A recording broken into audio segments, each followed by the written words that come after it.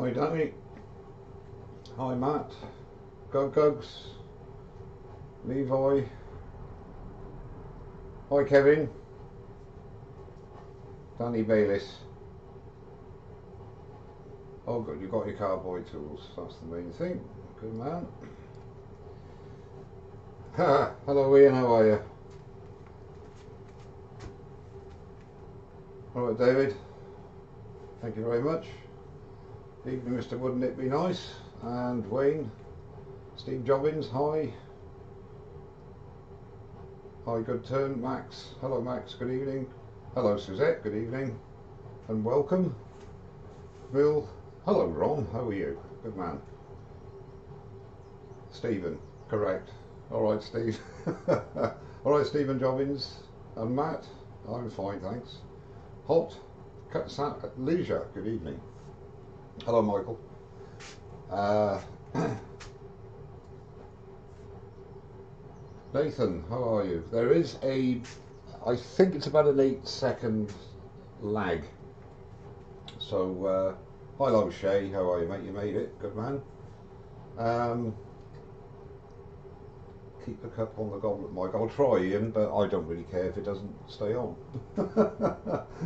uh, hello Zeke from Western from West North Carolina. Hello there. I've just got do that a bit. Uh, Captain Codpiece. Hello, mate. How are you? Hello, Darren. Oh, Darren from work. How are you? Um, Larry Anderson. Greetings. Thank you very much. Greetings to you too. How long have you setting it up? Says Matt. Um, three days from the start to finish, I suppose a lot of tweaking today. All right, Dewey, how are you, mate? And John, how are you, John? John Carroll, Mason. Um, yes, today's basically been um, doing a bit with the lighting, trying to improve the lighting so that my bald head doesn't show too much of a, a glisten. Um, yeah, it's it is what it is. Um, I'll uh, Hassan, how are you? Nice to see you. Mr. Dave Rothwell, my old mate Dave from Canada. Hello Dave, how are you? Give my love to Fee. Um, I'll just run through the camera angles I've managed today. Uh, this is obviously the laptop. Um, then we've got that view there and then the overhead and that's all I'm going with at the moment and uh, hopefully we'll go through it'll be okay. Hello David from North Wales, good man, how are you? And Castle Finery, hello hello from Ireland, hello to you from Bedfordshire. Jordan Woodworks, alright Bruce, how are you? Uh, Ronnie, my word, a lot of people turning up. Ian, how are you mate? Ian Blair? Mike, have you ever another video on here and says it's going live 7.32? I guess this is the one to watch. Uh, this is the one, yes. I, am not too. I did put up um, that it would be going live at 7:30, um, but this is this is that one. So hopefully, um, I'll learn how to do it properly next time. But uh, yeah, this is the one that's going live. I just hope other people aren't on the other one. That's the problem. But they'll get the message hopefully when no one turns up. Um, I'm not making any comment there, Matt. Thanks for the offer, mate. We'll see how we go. yeah. Evening, Mr. Byers. John Byers, how are you? Nice to see you. Um, let's have a quick look down here a minute. As I say, you must excuse me going off Good grief, there's 90 people already. That's incredible. You are a wonderful bunch of people. All I can say is, um, I've had a few requests to make the goblet fly tonight, but um, what I'm going to say is nothing, and if it does, I'll say there we are, I meant to do it. I think that's the best way to look. That is what I intend to do. Good evening, shop workshop. Uh, yeah, shop dog workshop. Never turned a goblet. Well, hopefully, I'll show you how not to do it. So if you do everything opposite to what I suggest, then you'll be okay. Tubby Turner, good evening, how are you?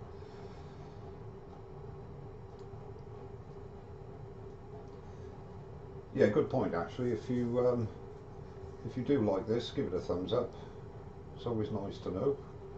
Um, terrible thing to say, but there is a little dollar sign at the bottom of the, the chat window, uh, and if you feel at the end of the day or during during the session that it's been worthwhile, any contributions will be gratefully received. And what I shall be doing. Hello, Wayne. How are you, mate? And Wayne's starting his at eight o'clock, so you can chop between the two of us. That sounds good. Um, yeah. Anything that is donated or contributed over these live streams I do will be going into kit to hopefully improve the ex experience. Um, so hopefully you'll benefit for it, by it as well. Right, well, it's not due to start till 7.30, so I'm not going to do anything until then.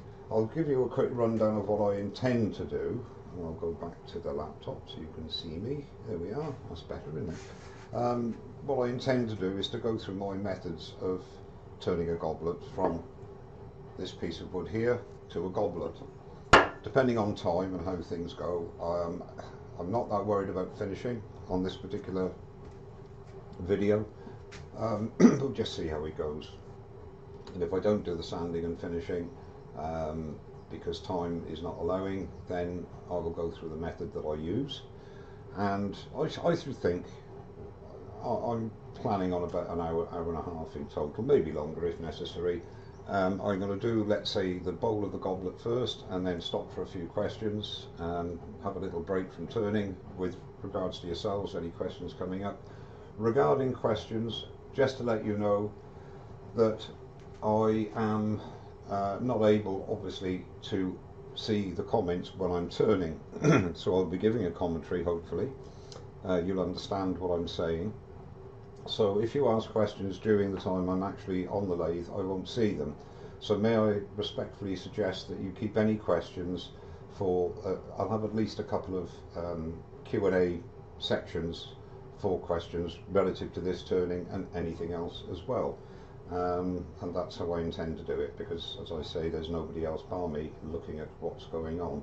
And if I should miss anybody that joins accept my humble apologies um, I obviously am extremely grateful for anybody that has nothing better to do than watch me. Uh, Mark Gentlewood Turner good evening Mark. How are you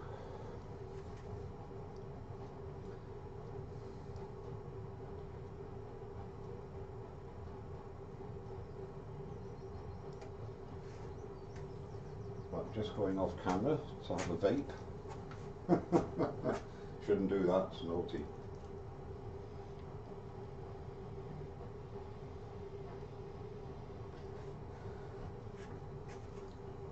I remember when I did my first ever demo at UKIS back in 2016, it's first ever public demo I'd ever done. I've only done three in total, I think.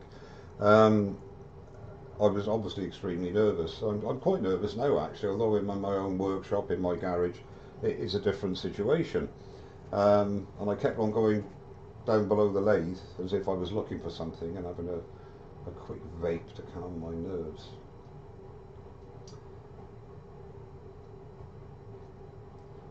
I don't know what it's like with you, but it's been 20 in the UK anyway. Here it's been 28 degrees today, and uh, in my garage it's extremely warm at the moment. It is currently 31 degrees here at the moment in this garage workshop. Um,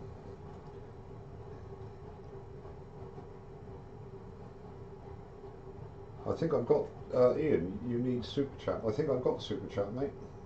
It's. Uh, Yeah, it's it's live.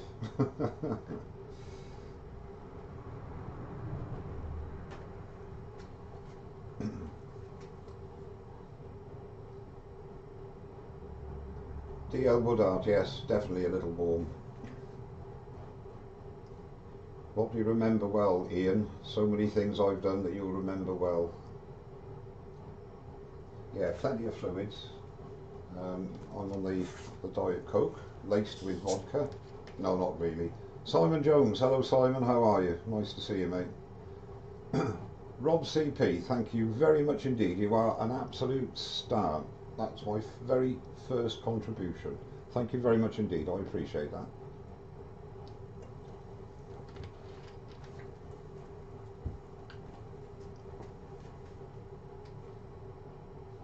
Douglas Mungham, I live by the sea, Walton on the Naze, weather great, but in total lockdown. Yeah, tell me about it. It's not so bad here, well I say not so bad, obviously, we're still... Uh, Wayne, Bigfoot, how are you? How are you, mate? Thank you, Lee, much appreciated, thank you, sir. Um, yeah, we're obviously on lockdown like the rest of the UK, but um, good evening, Steve Robbins, how are you? Good, I'm glad you're looking forward to it, mate. Hope I, uh, I don't disappoint yeah, the uh, the lockdown side of things it's eased slightly, um, but uh, I've just been informed I'm being furloughed for at least another week from ne uh, next week. So, um, Suzette, thank you very much indeed, my love. That's very kind of you. Chris Nunn, hi. How are you? Are you well? And uh, Stephen Rickett, I like you chuck your stand behind you. Uh, that actually I did that about two years ago. There was about six years of, of not actually having it as I wanted it, and I finally got it. So it's only plywood glued, and it's just slotted in. Uh, it works very well.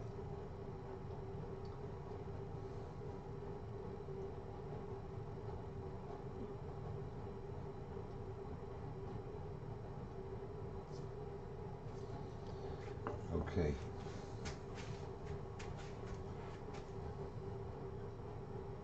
Extending till August, Matt. That's incredible, incredible.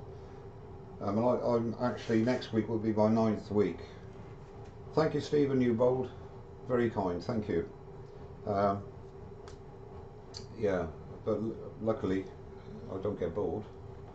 I've actually nearly done all the things that my wife asked me to do as well. Nearly, not completely, but almost there. Oh, I'm sorry about that, Silk.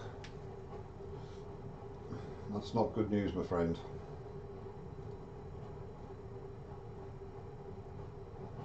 You snapped a skew? My God, putting too much pressure on it, Mark. hey, Steve Jeremiah. How are you, Steve? Are you okay, mate? Thanks for joining me. My word, there's 156 people here at the moment. I think in a couple of minutes we'll start. Um, as I said, if you can remember what, what I said about questions, um, this is this is intended for the newer turner, uh, but not not um, exclusively, obviously. So I will be going through my methods from uh, and my thought process, such as it is with my single brain cell, um, and hopefully you'll find it interesting as a new turner and won't get too bored if you're a more experienced turner. Mick. Hello Mick Stratton, how are you? Yes, don't, don't say that, she most probably will. It's not shoes, it's handbags with Muriel. What's my full-time job? Um, I'm a bus driver, actually. That's my full-time job.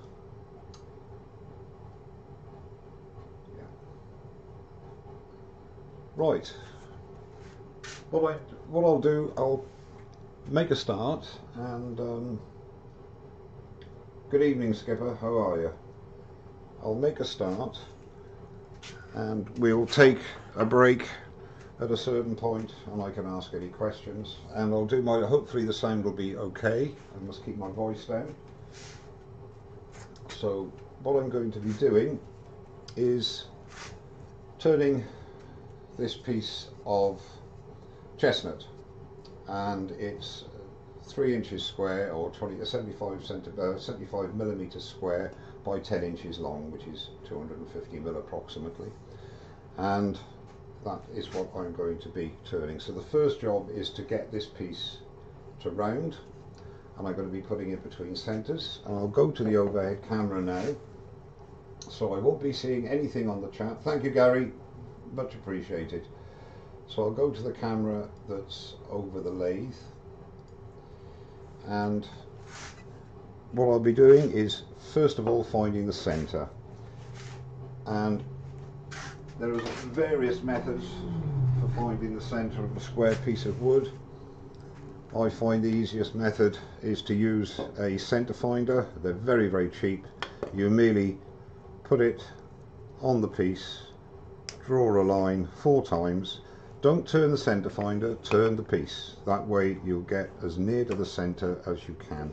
And also make sure that you've got lead in your pencil, as the man said.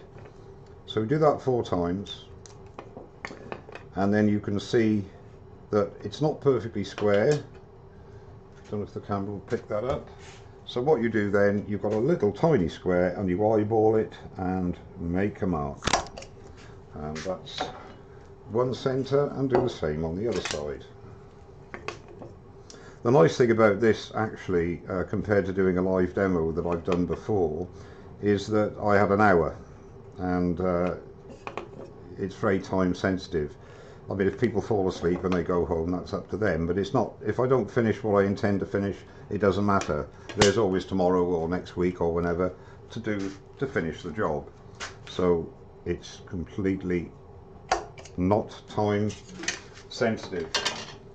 Okay, and what I'll be using are STEB centres. Now this is something interesting for the newer Turner. STEB centres have a spring-loaded centre and you can see there and that center is on a spring as is the drive center now the beauty of these especially for the newer Turner is when you mount it and we'll just mount it now between centers bring up the tailstock lock it down and bring it in on center there we go. Now there's no pressure there at all. It's just sitting like that.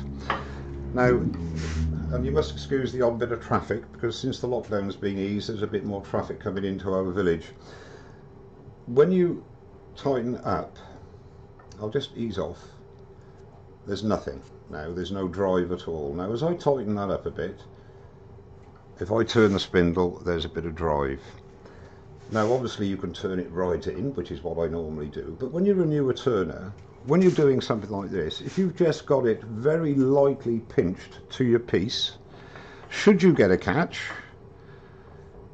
what's going to happen is you're not going to get a, a, catch that's going to cause any problem at all. All that'll happen is is that the work will spin because it's very very lightly there's very little pressure and I'll demonstrate that for you and this will be a catch that is meant to be.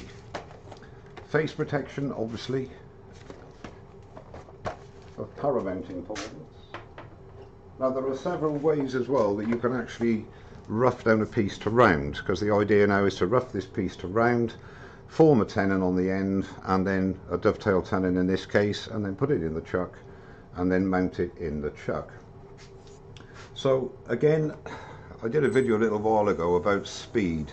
Never turn over what you're not happy with, obviously, but especially in a situation here where you've got corners and you want to get the corners off. Now if you start, let's just say this is just 200 revs, you can see how it's banging. Now if I turn that up to let's say a thousand revs, and each one of those bangs there is air in between that. So the faster you go, and I'm not, I'm not saying for one minute that you should go extremely fast, but it's a better experience and less likely to catch. So what I'm going to do now is turn this at around a thousand revs and I'm going to purposely catch it. Okay. Now I've got very light, very very light here. Okay. So we would start going through. Now let's just say I catch it. See that? It stops. And all you have to do, because if I hold the drive, that will actually spin now. I'm, I'm locking the drive with my hand, so that is now spinning. Uh, spinning without any drive at all. All you do is tighten up the tailstock, put a bit more pressure on it, and then you're back to doing the job you want to do, which is roughing down. So it's a very safe way of mounting between centres. Okay, so as I say, there are various methods of actually roughing down. The most common is using a spindle roughing gouge and literally just rub the bevel, lift the handle till you get a cut and move. I'd like to go a bit quicker than that if I may. Thank you very much. Okay, so I'm doing now about 1300 reds, okay? There's no rush, just nibble away, nibble away, nibble away.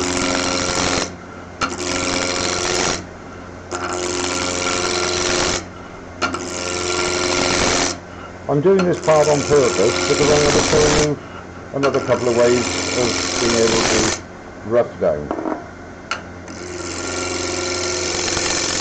But the easiest is using spindle roughing gun. Now that bit is virtually round, you know. Okay. Can somebody just answer me? Is the sound... Good evening, Harold. How are you? Um, is the sound okay? If someone could just say yes. I know it's an 8 second lag, but I would appreciate it. Thank you. Hello, Joseph. How are you, my friend? Are you well? Okay. Yes, so, uh, oh, that's good. Okay, the sound's fine. It might get a bit distorted when um, I'm turning. Okay, so we've used the spindle roughing gouge there. Now, surprisingly enough, and this isn't, I'm not doing this as a hero move, but you can actually use the skew. So all I'm doing here is showing you the different methods that you can use. Now with the skew, the same thing. You rub, this is just a three quarter inch, okay? So you rub the bevel, lift the handle. This is a radius skew, which I prefer. Um, so in actual fact, this part here, I have ground and that's straight across. So it won't be a straight uh, roughing down, but the idea is there. So all you do is rub the bevel and then lift the handle just lift the handle into the work. No rush. Lift the handle into the work and then move the handle across. So we'll just do this bit now.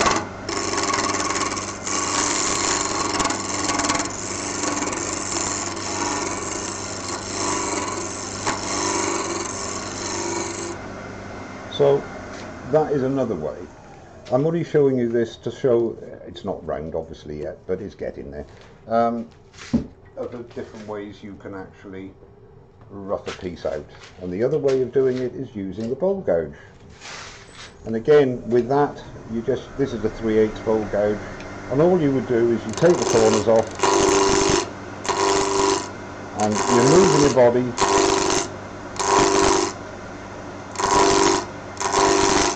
and then run the fault, go in again. This method is especially useful when you've got a, a very uneven piece of wood because you haven't got such a large blade contacting the different rings. So that's just to show you that you can use various tools to actually rough down and I'll finish off now with the traditional method which I do actually prefer most times.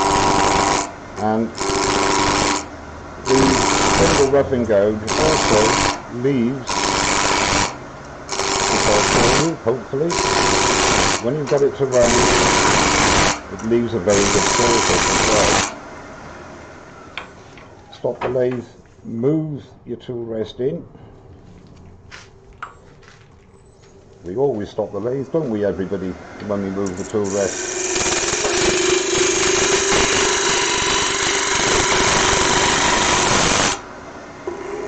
Okay, now that's virtually, that was a fairly heavy cut.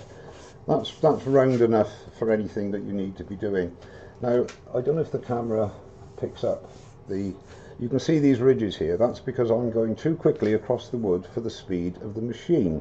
Now I'm doing, I think, 14, 1500 revs. So that's more than adequate. So I must slow my traverse across the piece to improve the surface. Now chestnut is quite a wide grained wood anyway So um, it's not going to have such a smooth finish as let's say yew or uh, Sapele. But if you can see that, now I'll try, if you just turn, rub the bevel, turn the tool so that you're actually cutting at approximately 45 degrees, lift the handle, get your cut, and a nice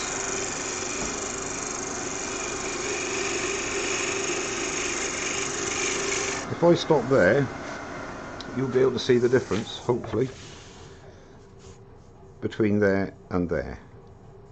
So it's a good tool to get a, a decent finish but don't forget most if not all of this wood is going to be turned away.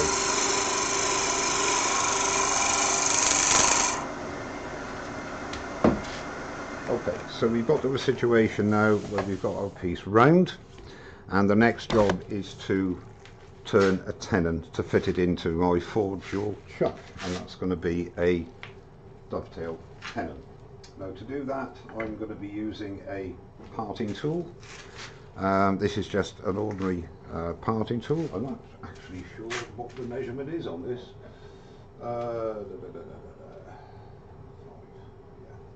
Yes, five mil, five mil parting tool. Okay, so again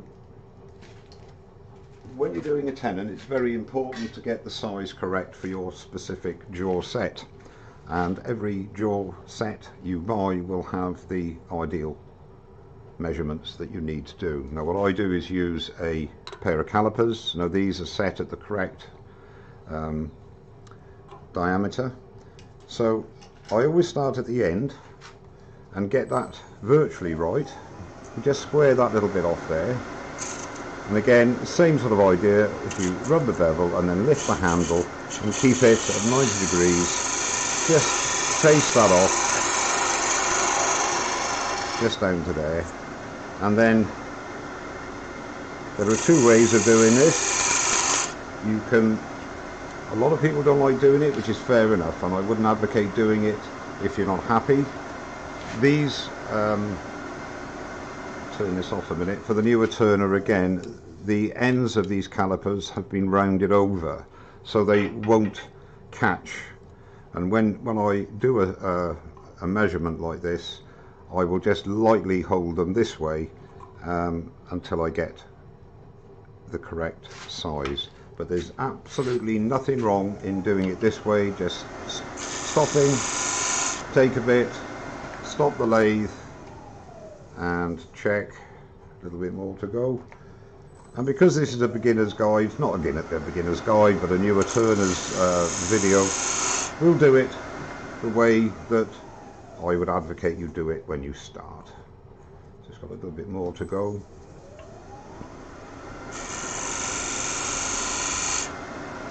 When you try anything new I honestly advocate doing everything slowly. Whoops let's see now what's happened here is exactly the same thing that happened when I was at UKIS because I was talking I've actually got too big a tenon but that's not a problem. I could say this was done on purpose but it wasn't. But that's why I always do the end because it, it's not a problem. I can get rid of that. Start again. And get the tenon.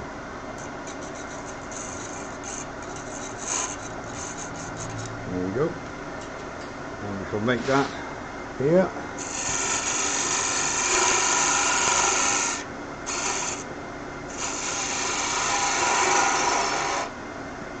Now I've got a feeling I've done exactly the same thing that I did at UKIS. And if I have, I don't care. Excuse me for a minute, I'm just going to check.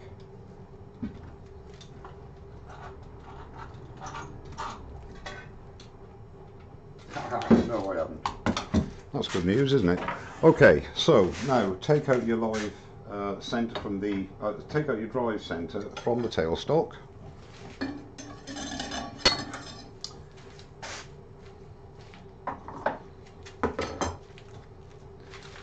then put on your chuck. Keep your live centre in. And the reason for that will become apparent in a minute. It helps you to centre the piece when you put it back. Now what I've got to do here, you can see that there, whoops, where are we? Back to front. There's a little bit too much of a little nib there, so I'll just go off camera for two seconds and take that off on the bandsaw.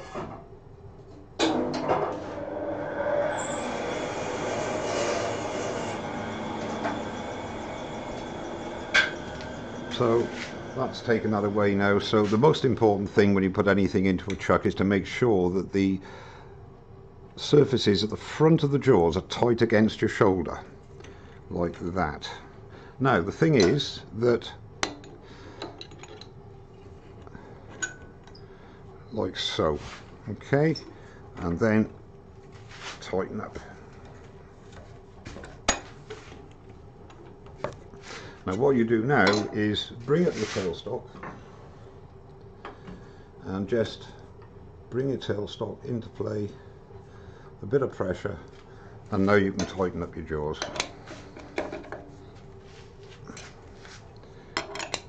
And you can see there's a very small gap there in the jaws and that will and then turn him on and that should be running smooth and then remove the tailstock and that's fine. But keep the tailstock for this up, up, up to this moment. Now what we're going to do now is start to shape the bowl. Now what I was saying um, on Facebook, the idea of this is to give the newer turners an idea of my thought process.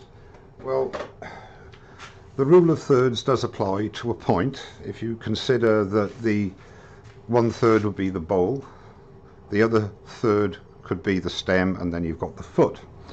There are many different designs. Some people like a, con a convex um, shape to the foot, which I personally prefer a concave. I like it to flow with lines. Now we're not going to do a thin stem goblet, that's not the point of this exercise. The point of this, of this exercise is to do a basic goblet. So what I do now, I take my half inch spindle gouge. You can use a bowl gouge, half inch bowl gouge. You could use a 3 8 spindle gouge, but they really don't have an awful lot of meat in the um, in the stock. So I would prefer to suggest use either a 3 8 spindle, uh, 3 8 bowl gouge, which is a thicker stock than the 3 8 spindle gouge, or indeed a half inch spindle gouge like I'm using now. Now the whole idea on this is just to get some idea of um, shape, just a very rough shape, ready for hollowing.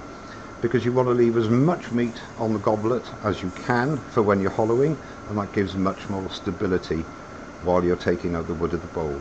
Now I'm looking at something of that sort of a nature, and I'm just going to do a nice simple um, round over I hope that's not too light because I can't see. I've had to alter all the lighting by covering it up so that you get a, the best possible picture. Now I'm turning at um, 1600 revs and again just rub the bevel, lift your handle, get the cut, come over, lift the handle and just turn and the same on this. We'll just keep going. Nothing major just a nice easy shape.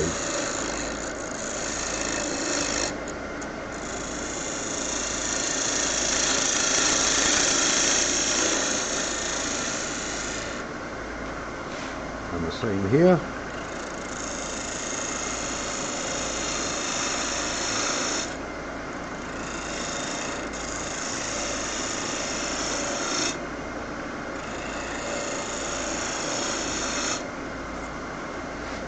I just want to get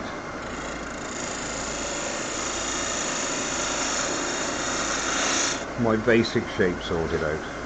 A bit of a ridge there. Little ridge like that, it's not a great problem because that will sand out nice and easily. Just get rid of that little ridge there. Pick up the cut nice and easy, nothing, no rush.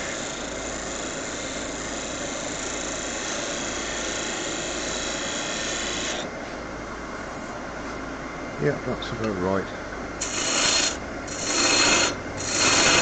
Heavy cuts there just to get rid of that. Clear some of the wood away. And now we've got to just bring it down a little bit just to see if that shape is going to work. And as you're going, as you go down to here, you lift your handle and turn. Turn the flute so that you're following the line that you want to follow. Let's get rid of that little there. Yeah, that's fine.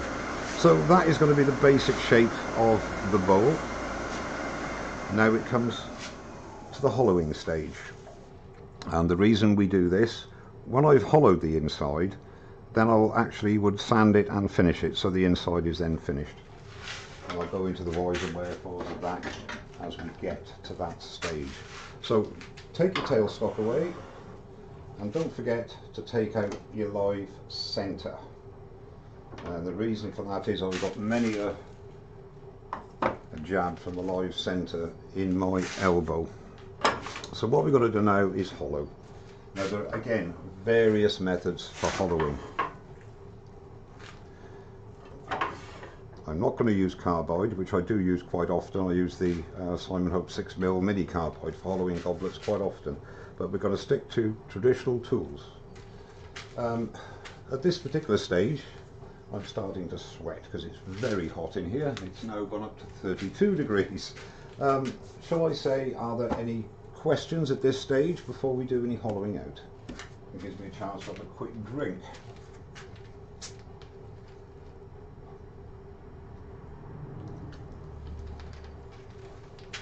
So we'll have any questions for a second. Nice one, Frederick. Walnut's a lovely wood, lovely wood to turn.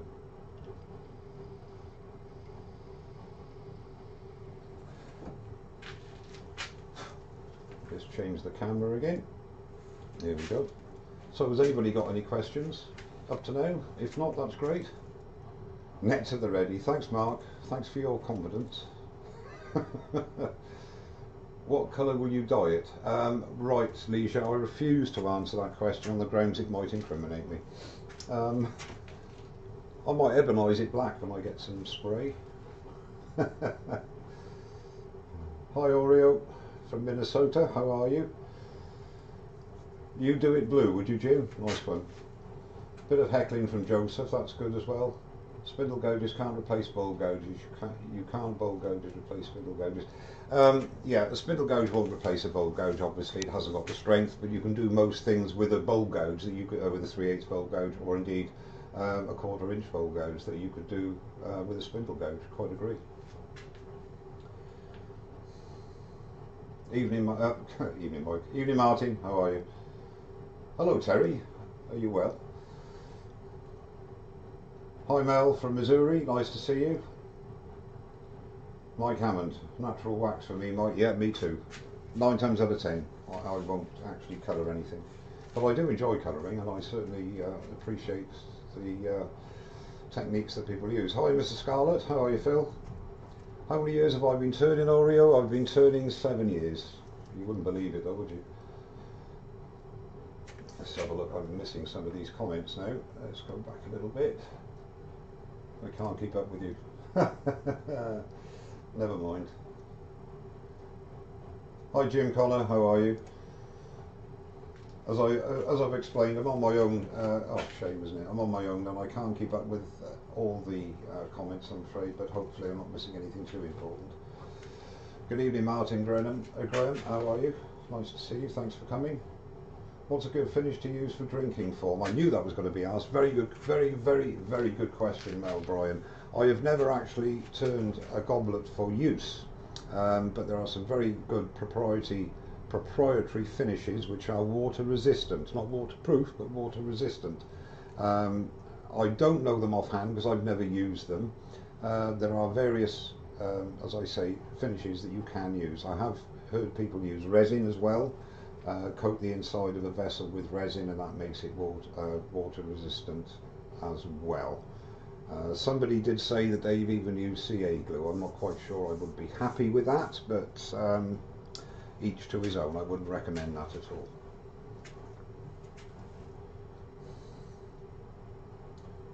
Robin, hello Robin, how are you? Lovely to see you. I'm honoured. And hello Carl, I am honoured to see you young man. Even though you have got a, a fresh face now. Trying to keep looking young Carl aren't you, I can see that. Mr Pooley, how are you? Are, um, in answer to your question regarding uh, resin or Rustin's plastic coat, that was the word. I couldn't think of the plastic coat. Thanks, Chris. Mr. Pooley, because Chris does quite a few uh, goblets and chalices for drinking out of.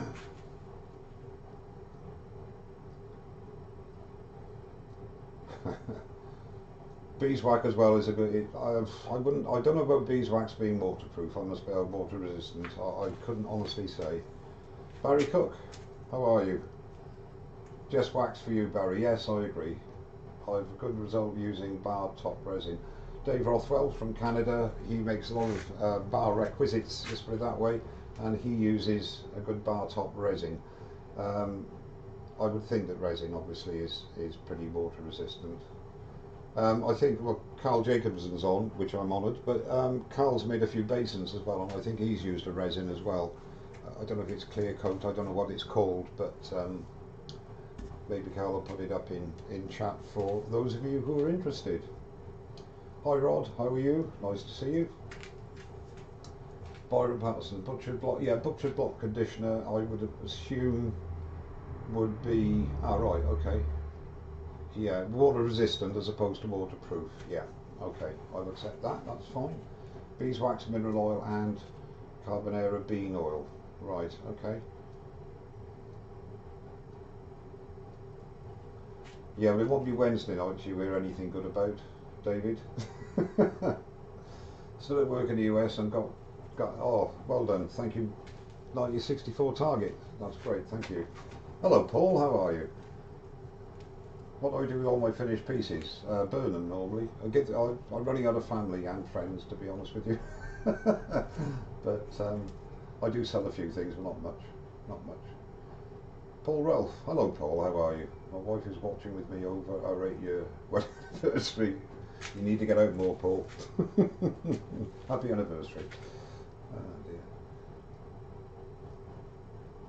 Richard Phelan, yes, like the silver birch is great to turn. I haven't done that.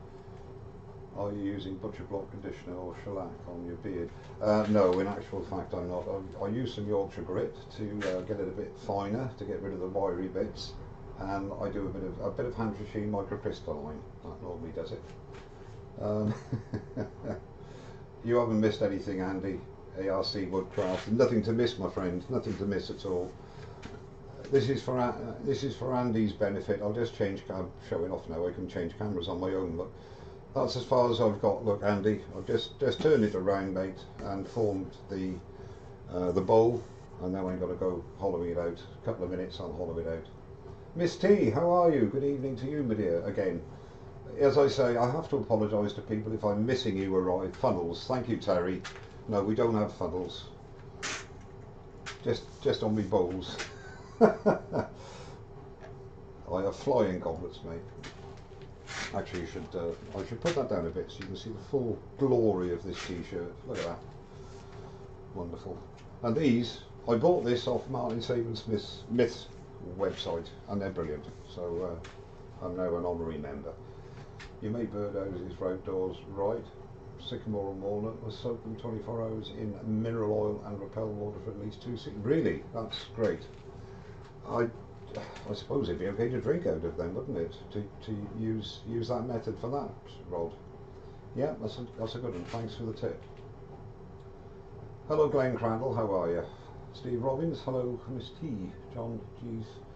Well, I'm absolutely awe-inspired. There are 300 people watching now. Thank you so much. I really, I can't believe, I know you're all here just to watch me blow this thing up. Um, and if I do, I do. Jim Overton, how are you? the old silverback. Watch it you. Watch it Tubbs. Right, okay, I better get on I think. Uh, what I'm going to be doing now is, I won't be looking at the chat. I'll change the camera angle to the end on cam. Okay, I've got a lot of work to do with cameras and uh, all the rest of it and getting the right angles and everything. So uh, bear with me on that one. Okay, hollowing out the bowl. There are several methods. My, my serious advice to the newer turner is to ensure that you drill a depth hole. Now how you obtain that depth hole is up to you. Let's get rid of this tool rest for a minute. There are several ways and I will show you the ways that I use. The first method, which I don't suppose I could really recommend to a newer turner, I mean I put that in, I just epoxy this drill bit into a little handle and that allows me to do it to do a depth hole by hand because again for the newer turners I'm not going to keep saying for the newer turners I'm just going to carry on blabbing um, the center of any spinning piece is, is virtually not moving. So you want to get rid of the slow and non-moving wood and work from there the same when you're hollowing out a form. So the same works for goblets. You can start with a push cut. You can do that of course you can. But my my argument is that you don't know quite how far down you're going. So if you drill a depth hole then that gives you a guide to know where you have to hollow to so you can use a handheld drill like this. My preferred method for both safety and accuracy is what they call a Jacob's chuck. Now not everybody's got one. They're about know, 15 pounds uh, sterling. Not, not greatly expensive. And you get them with a Morse taper that fits into your quill of your tailstock. That fits in there and then you get a drill bit of whatever size you want. You just take one for now. I haven't got any drill bits here. Excuse me, bear with me a second. Just going off camera to get a drill bit. You can use whatever size drill bit you want, obviously. Um, this this is just a, a 10 mil. Okay, so you've got your Jacob's chuck in your quill, and then just open up the jaws, put the drill in, and you know where I'm going, you newer turners.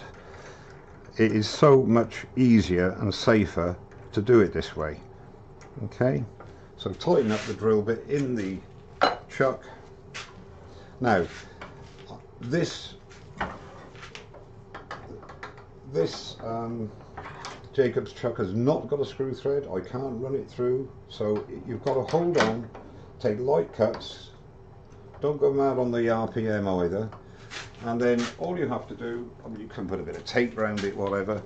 I'm looking to go about there something like that.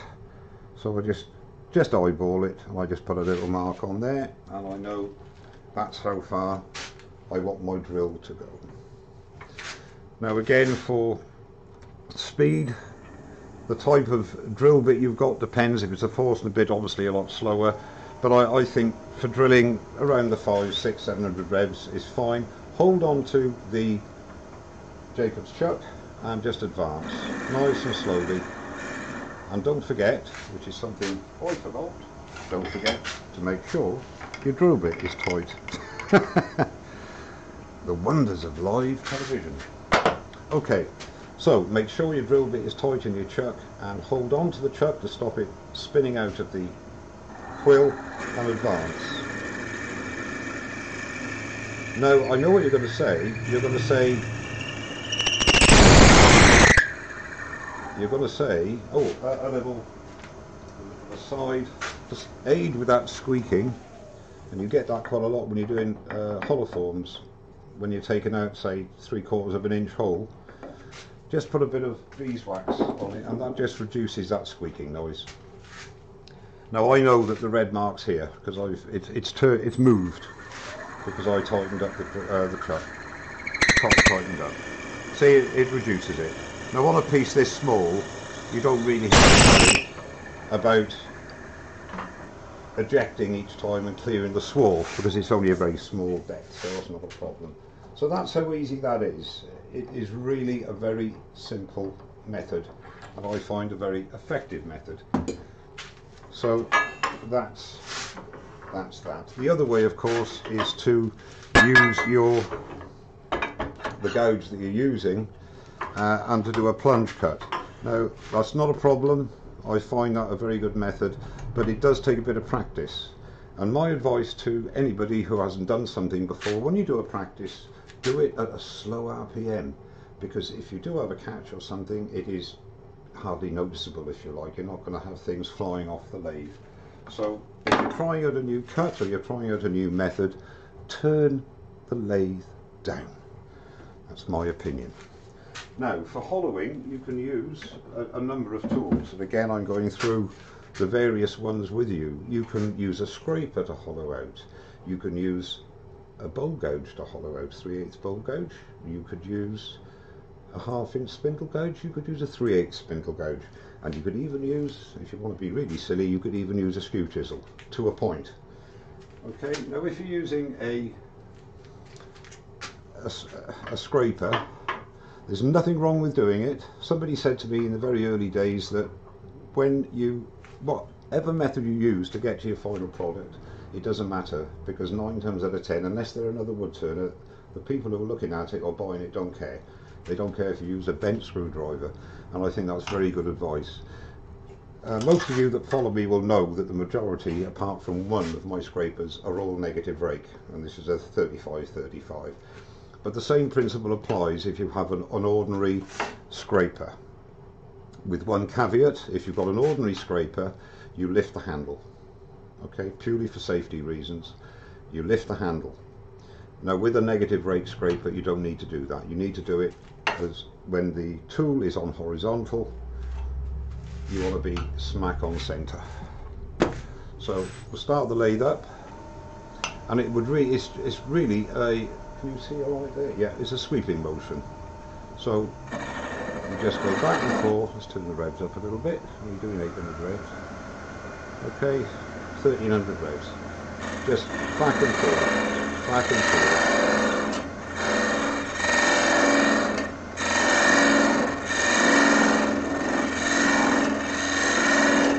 Okay, so you just go on down. I never, I've never used a scraper to hollow out, but you can be done. Not so effective, I would agree with a negative rake because you have a finer edge on it. The other method is to use uh, the back hollowing method, using your gouge. Again,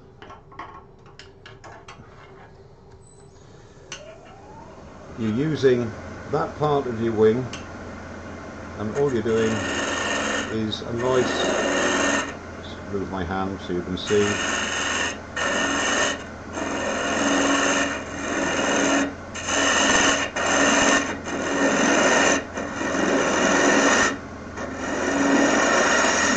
The other way, that is back hollowing. The other way is to do a push cut, and the push cut needs a little bit more concentration. A push cut is basically like hollowing a little bowl. It's just clean that bit up there. Just clean the edge up. I'll tell you something as well, which is never a bad idea in my opinion. When you're turning something like this, you can use your parting tool to sort of decide, decide approximately what size or what width of walls you want or thickness of walls. So let's just say there. So plunge in and that gives you a guide of how thin or thick you want to be. Now that has two advantages. It also gives you a nice shoulder to, I'll turn the lathe off, shoulder to get your bevel. So why not use your parting tool to make a series of cuts like that. This is just an option, another way. And again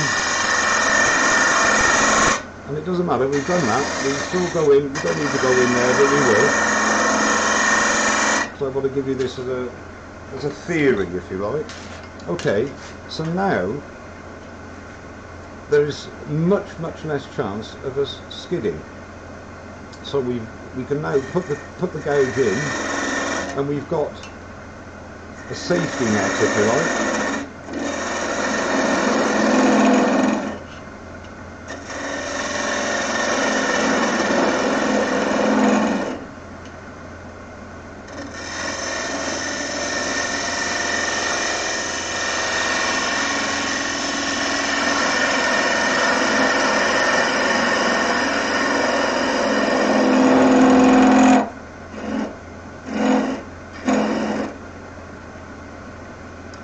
Now, as I say, the push cut is one way. I do prefer the pull cut.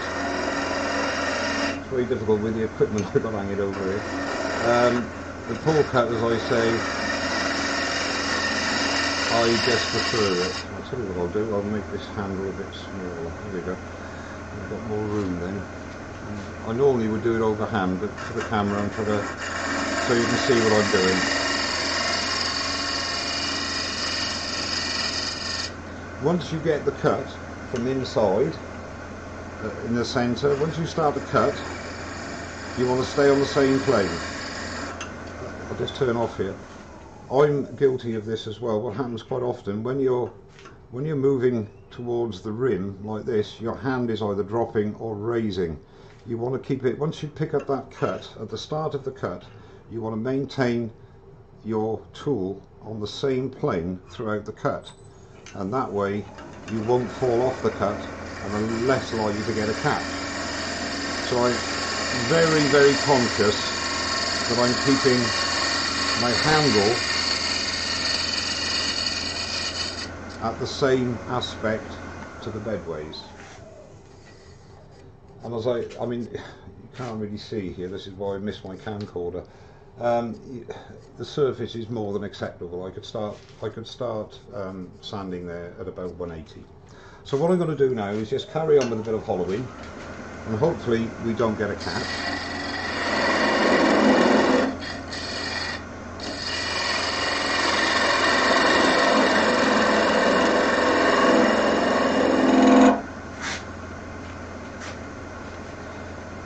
Now the same thing applies to goblets as with bowls.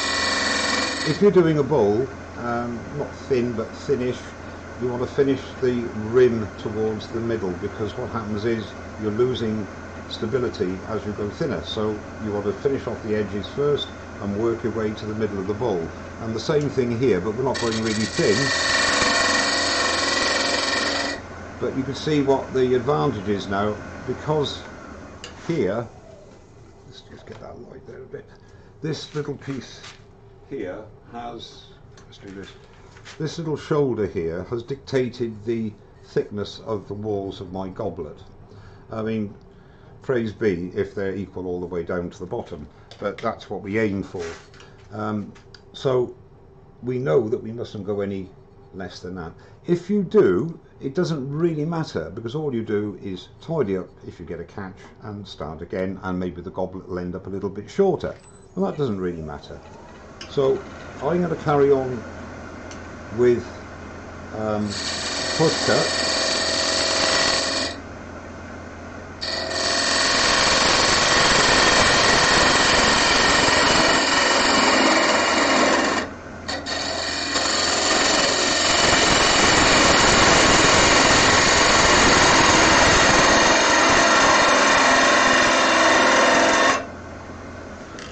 stop and check.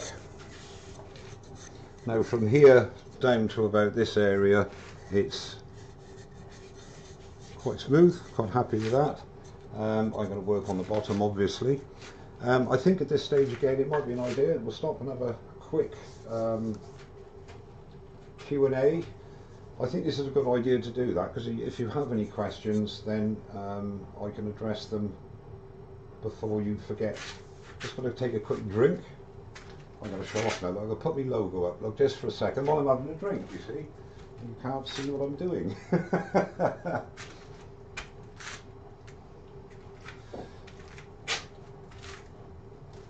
then we'll go back to, there, there we go.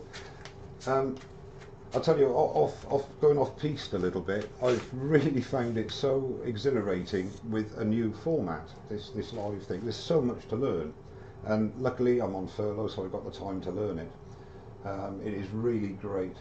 Have a vape, Mike, and chill. You're doing great. Thanks, Mark. Yeah, I would only do that off camera. I wouldn't do it do it on camera. You're upgrading from an Overcomet 2 MIDI to a Laguna Revo. Whoa, what? To an 1836. I can't wait for my new lathe. Well done, Levi Wirrick. Excellent. Lovely, lovely lays. Lovely lays. Hello, Mr. Oliver. How are you, Ed? Are you well? Nice to see you. Yeah, Record Power do great, great lays. Um, there really, I mean, there are a few uh, not so good lathes, but most manufacturers nowadays really produce good quality stuff. They really do. I mean, obviously, everybody has, everybody has their favourites. Um, things have gone on a lot since uh, over the last 20, 30 years. Oh, good. Glad to hear it, Ed. Loved your Burl the other day. That was brilliant. Lovely metal. Burr, should I say. You do extremely well, Mike. Oh, thank you, Leisure. That's very kind, mate. That's very kind, love. Thank you. Yeah, um, Grant, so much to learn. I don't know if you're talking about live streaming or, or turning in general. There's a lot to learn on both, and I'm still learning on both of them. But um, hello, the Wood Don. Oh, how are you? Nice to see you. Sunny, sunny Florida. We got we got sunny Bedfordshire, sunny UK at the moment. We're quite good. We're doing not too bad. Um, you got a Oneway, nice one, Harold. Oneway 1640. I am impressed. I'm jealous as well extremely jealous. Um, but going on to the um, back to the boring part of the streaming here, as I say, it's a learning curve for me. Um, I mean, obviously, I will do it as I want to do it, but I would like guidance. Uh, I say guidance. If somebody thinks something should be added or whatever, um, please leave a comment I will read all the comments when this stream stops because I'm obviously very interested in trying to get as good as I possibly can. The only good thing about you can't stop me talking. You can turn me off, yes, that's true. But um, hello, Colin, Mr. French. Are you well? Nice to see you. I'll have to be honest with you because uh, I would say 99% of people here, I, have heard your names and I, I know you from being um, subscribers of mine. Uh, there's only 277 people watching now, but there were 300 not in the beginning. So I don't know. I'm not bothered for the first one. There might be too much talking, too much interaction. I don't know. Um, but it is a beginner's. It is basically for newer turners, and obviously the more experienced turner hasn't got a lot of interest in that, which is fair enough. You know, uh, it's not, fair. Thank you, George. Mr. Mike, stop talking, that'll be the day. Yeah, you're not wrong there, mate. Ian, I have to say, I think you have got it spot on lighting and sound. That's great, Ian. Coming from you, who's a bit of a perfectionist on things like that, that that's great. Um, actually, this is uh, to Ian. I, have got two um, uh, Lavalier mics, or Lavalier mics, call them what you will. Can't get them to be recognised on my laptop, but I have a, a splitter coming. Maybe that'll work. But I'll be honest with you, I've I'm really what's happened? Um, everybody's disappeared.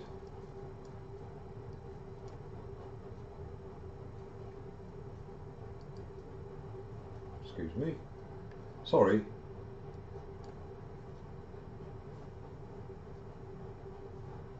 Um, I don't know what's happened here. Um, all of a sudden, I've been asked to start Zoom. I don't want to start Zoom. What is going on here? Excuse me.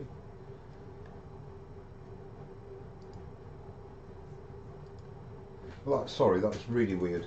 I've just, just had a massive page come up in front of me, start Zoom meeting, and I haven't pressed anything, so I don't know what's going on here. Right, okay. Sorry, back to business. Um, lost my thread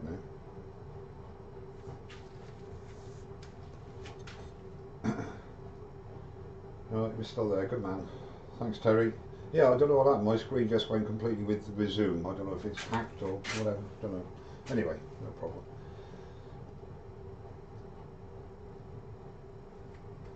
Hi Scott, thank you very much mate, thank you very much. Um, I think what I'll do now is go back to finishing hollowing this bowl and start working on the stem and then we'll stop again for any questions that you might have.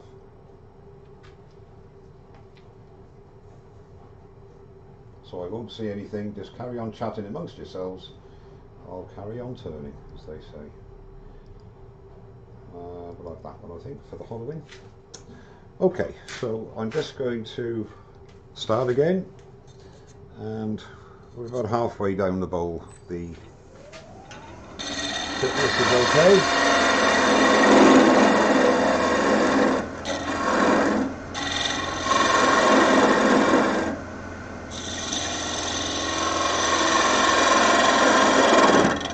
Now, see, I got a judder there and you can see what happened. I just messed it up slightly.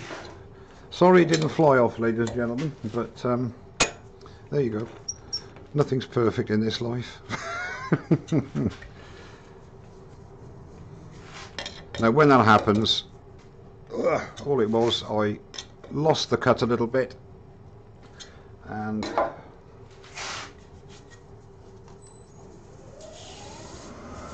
yeah back to normal it just just moved it ever so slightly.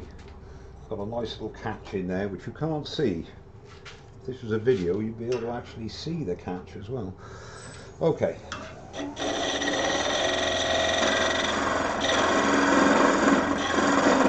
actually lengthen that a bit now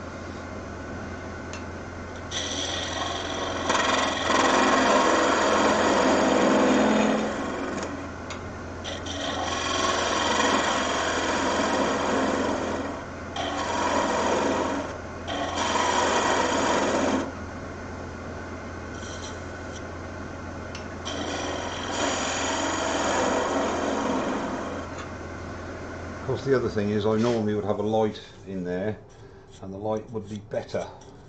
Okay, we're virtually there. There's a little tiny little lump there. I'll tell you what, what I'll do. I'll do what I would normally do. Um, this is again a negative, Let's see if I can show a negative rake scraper. Um, it's a little half inch ordinary scraper which I turned into a negative, neg a negative rake 35-35 and I just made it um, curved as you can see there. And I use that to clean the inside of my bowl, of my uh, goblets which I'll do now but I have to give it do I have to give it a quick no should be alright let's just see uh, just I'm a great advocate for the negative rake because I'm uh, I'm a chicken. No I think they give an excellent finish um, straight off the tool and they are much much less prone to grab than a standard scraper. And uh, the only downside is of course because you have a much sharper edge or a more acute edge they don't last long. But for tidying up cuts um, they are brilliant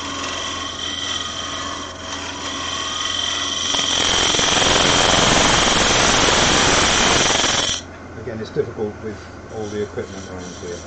Any excuse. Okay, so I'm, I think I? Yeah, I'm quite happy with that bowl.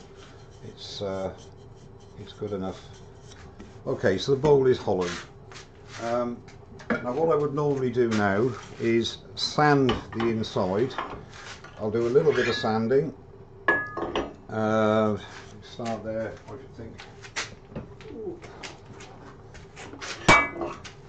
We could actually start there at about 180 I would normally go to 600 or go to 320 and use Yorkshire grit um, but on this occasion all I'm going to be doing is a quick sanding uh, just to get rid of the the worst of it.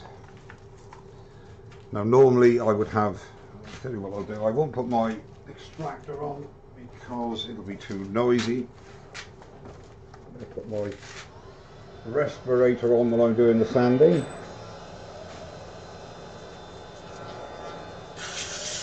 And you can talk amongst yourselves for a minute. We just do some very cursory sanding to get some sort of a finish on there.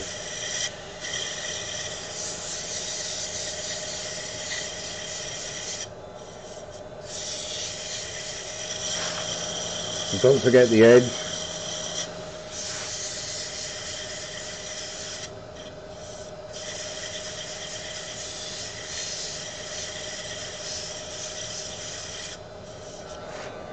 Okay. A little bit of a blowout. Do everything else as well. And go on to 240.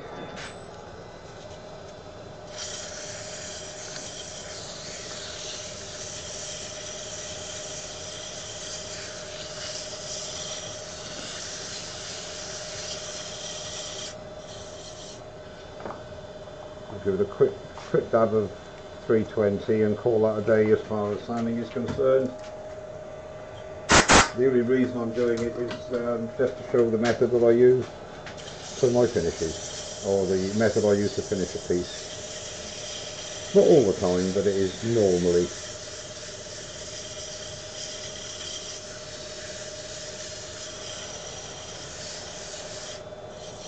Okay, so that's uh, didn't spend a lot of time on it. That's that's down to 320. Uh, now I just use a bit of pre-mix sanding sealer on the inside. Now it depends on the wood. As I say, this chestnut is quite a wide grained wood, so it will soak in the sealer more readily than a tighter grained wood. So maybe, maybe two coats under normal circumstances. And the whole idea of sealer is to, as it suggests, seal the wood and uh, give a nice foundation for your finish of choice, whatever it may be, what wax you may be using. Now at this stage, if I was going to use Yorkshire grit, which I won't purely for time time uh, reasons, I would use Yorkshire grit when that had dried, and then you use the Yorkshire grit. There's plenty of videos, including one, one or two from me, of how to use it, and it does give a really good finish ready for waxing. But when a lot of people make the mistake, they don't let it dry. They don't. They don't leave it. You don't have to leave it for hours. Obviously, it's only a few minutes, but you've got to leave it that time otherwise when you put the wax on it's not completely hardened and cured if you like so a bit more time spent gives good results okay so that's just about right and now just a very quick sliver of wax. Somebody's, somebody's nicked. Where's it gone?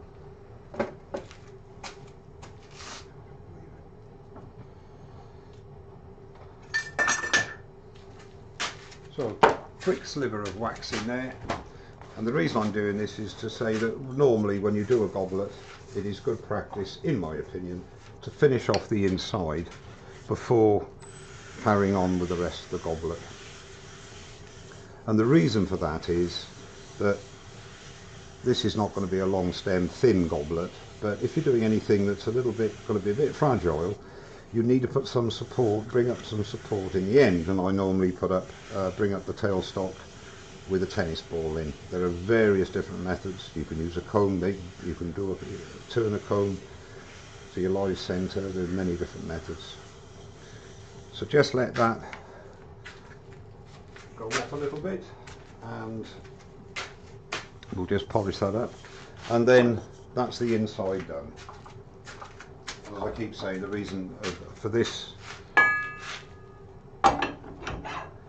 video is the method I use, not so much the finished, the finished object, finished piece. Everybody has different methods of doing things. Um, that's why I've got to try and show you a couple, a couple of different methods. So, how are things going with everybody?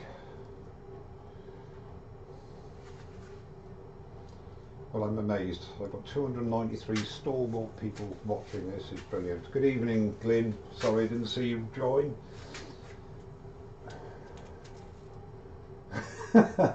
Sarcasm from Mr. Jacobson. Oh, great, Glyn is here. yeah, my, my sentiments exactly, Glyn. Just, uh, Carl, make sure he doesn't use any, if he ever comes over to the States again and visits, make sure he doesn't use any of your garden furniture. Because it's only going to be useful for firewood after Glyn's used it.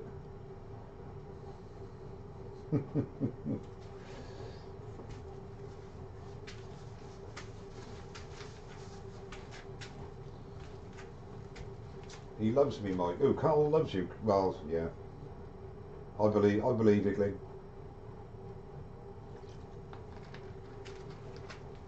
Thank you, David Bamford. Appreciate that. Thank you. I've already learned a lot. I shall do things a little bit differently, organisation wise. I thought I had everything organised and I couldn't find a screwdriver or my Sheen can opener to open the wax. Okay, I assume, looking by it, um, up to now nobody's got any questions I would assume.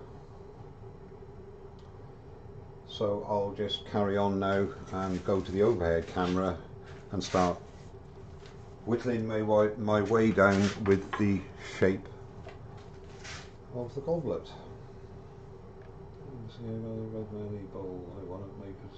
Oh, thank you, Gareth. I'm glad you liked it. Gareth Dalton. he unfortunately won the Marley Burr Bowl that I did for Mega Central um, last year or the year before. Um, shame that you could have won some really good stuff, couldn't you? oh dear. Right, let's go to the overhead. Okay, so we've we've basically got the shape of the bowl. Um, we need to do a little bit of uh, refining here. Now, I was talking about support.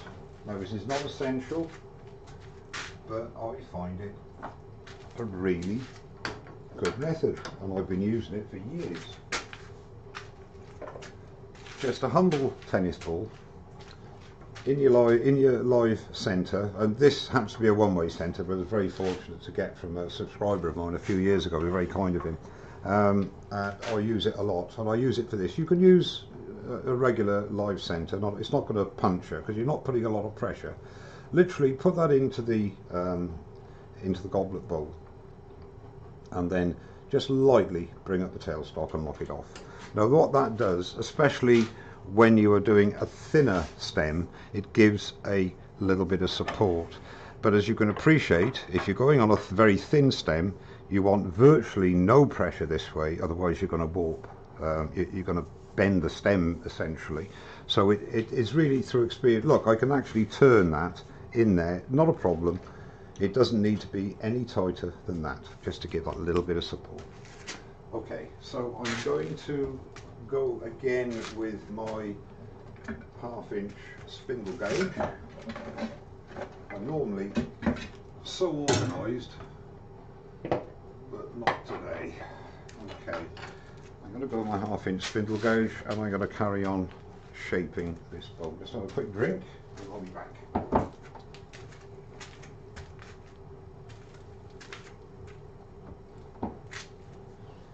Okay, so what I like to do now is to just take away uh, some of this, this wood here to allow me to work Again, turning it around 1500 revs, you don't need to go any much much more than that. But just nice easy cuts. Put your face shield on, good idea. Okay.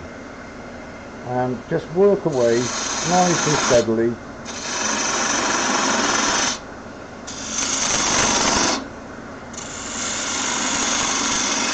all I'm doing here, I'm just riding the bevel, lifting the handle, getting the cut, and then moving towards the centre. Taking away this wood. Now you can already see it's starting to form. So what I want to do now is just follow that contour. Now a nice touch here, notice I haven't sanded the outside yet, so don't worry. There's a little lump there, I'm not worried that'll sand out easily, no problem at all. At this point, we're going to be going for a stem I should think about about so wide something like that. Nothing nothing really thin. But at this point you have you can make a decision I could just round that off a bit because that's a bit clumpy there. Just pick up the cut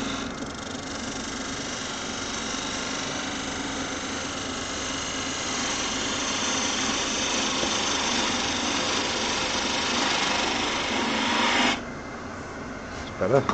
Still still a little bit not happy with that. Hang on a minute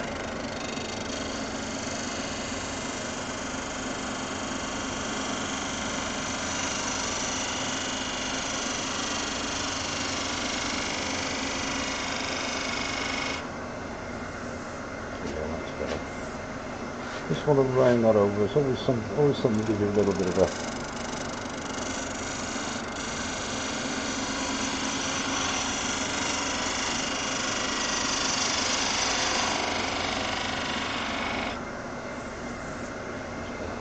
Okay, at this point here we could uh, start to decide whether we want a little, I call them a fillet actually, where if I get my 3 eighths spindle which has a 45 degree grind. This is not the detail gouge but the spindle gouge that enables me to refine the cuts without getting any interference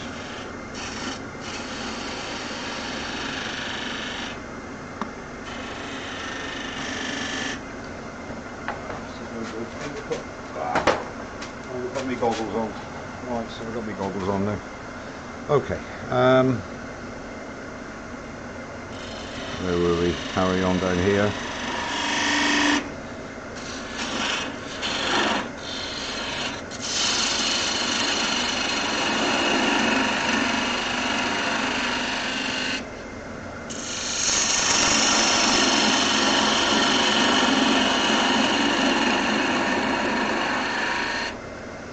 Now I'm going to come in there, pick up the cut and scoop. Now that little bit there, don't worry if you haven't got a detail gouge, this is a 30 degree, that allows me to get in there and do a really fine cut without snagging the goblet. And that just gives me that little fillet just a little bit of detail. I'll just check I haven't got raggedy edges. No, that's good. Okay, so that is a little feature which I've done. And you could just go straight into the stem if you wish. Now what I would do, under all the circumstances at this stage, is just remove the tailstock a bit and sand up the outside. So again I'll do it very quickly. I'll just put my respirator on and I'll just sand up to 320 now I, I say I've left it on purpose. This little mark here not a problem. Don't be afraid. I was very um, pleased is the word I think. I watched a live uh, demonstration by Cindy Drozda who in my opinion is the is the queen uh, the finial queen high priestess of finials and she spends hours on some of her finials sanding to refine to the perfect proportions that she expects to achieve. So sanding is not a problem. A lot of people say, oh, well, I get it off the tool. Yes, okay, you get it off the tool, that's brilliant. But if you have to make a few little, uh, a little changes through sanding, there is absolutely no problem with doing that at all as I said, the old saying is 95% of people don't care how you got there, it's what you show them at the end that counts.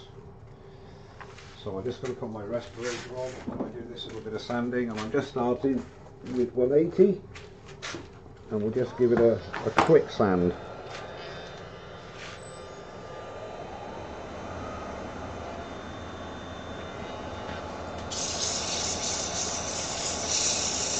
And again, I would, you that's one gone, so take another one. I um, would normally use the Hope Pro sander, but as I say, I'm, I'm trying to keep this as a, a beginner's uh, or a newer turner's uh, video.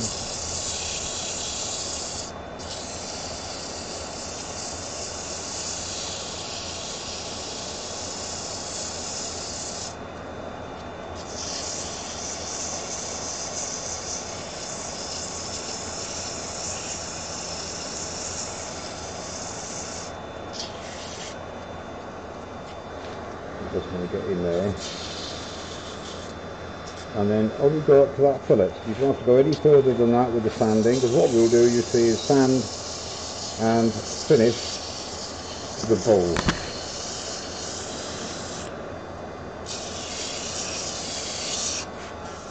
Okay that's 180 240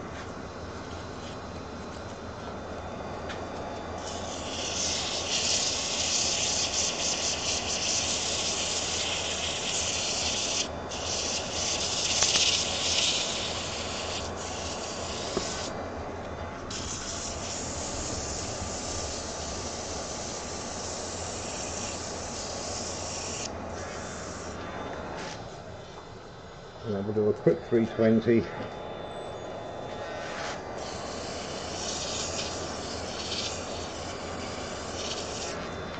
Actually, the matter of interest, I'm going to put the extractor on, let me know what it's like, if it's too noisy.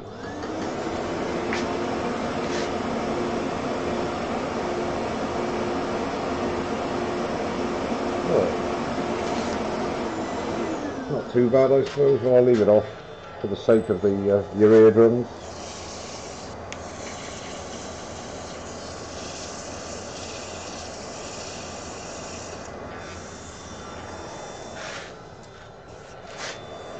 Okay, that's not too bad. Now the one thing that I should have told you, which I forgot actually, in the heat of the moment, and I'll just do it very quickly now.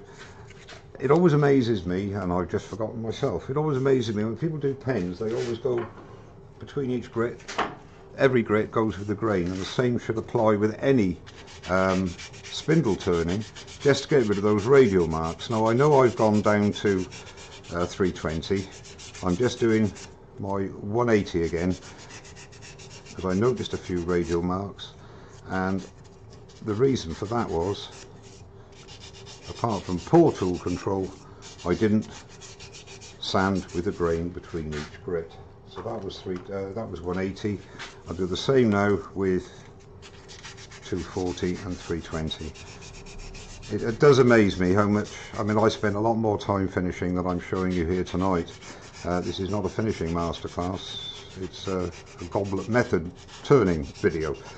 Uh, so, but it really uh, surprises me how the theory of rubbing, sanding with the grain on a pen isn't carried forward on all spindle turnings because it does make a lot of difference to the finish.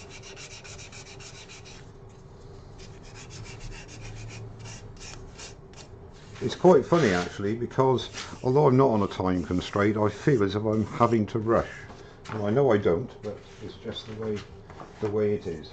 Okay so now once again and the reason this might this might seem a long-winded way of doing it um, doing it in sections but don't forget if you employ this method on all your goblets then when you start doing the thinner goblets and especially when you start doing off-center goblets, eccentric goblets, you need to do a section at a time and finish it because you can't go back. Once, once you've uh, gone down that path, you can't go back. You, you, you can't go back and just tweak it. You might get away with a bit of sanding, but you certainly won't be able to do any turning with your tools because you have no support. So that's why it's important to do a section at a time and I've just got into the habit of doing it.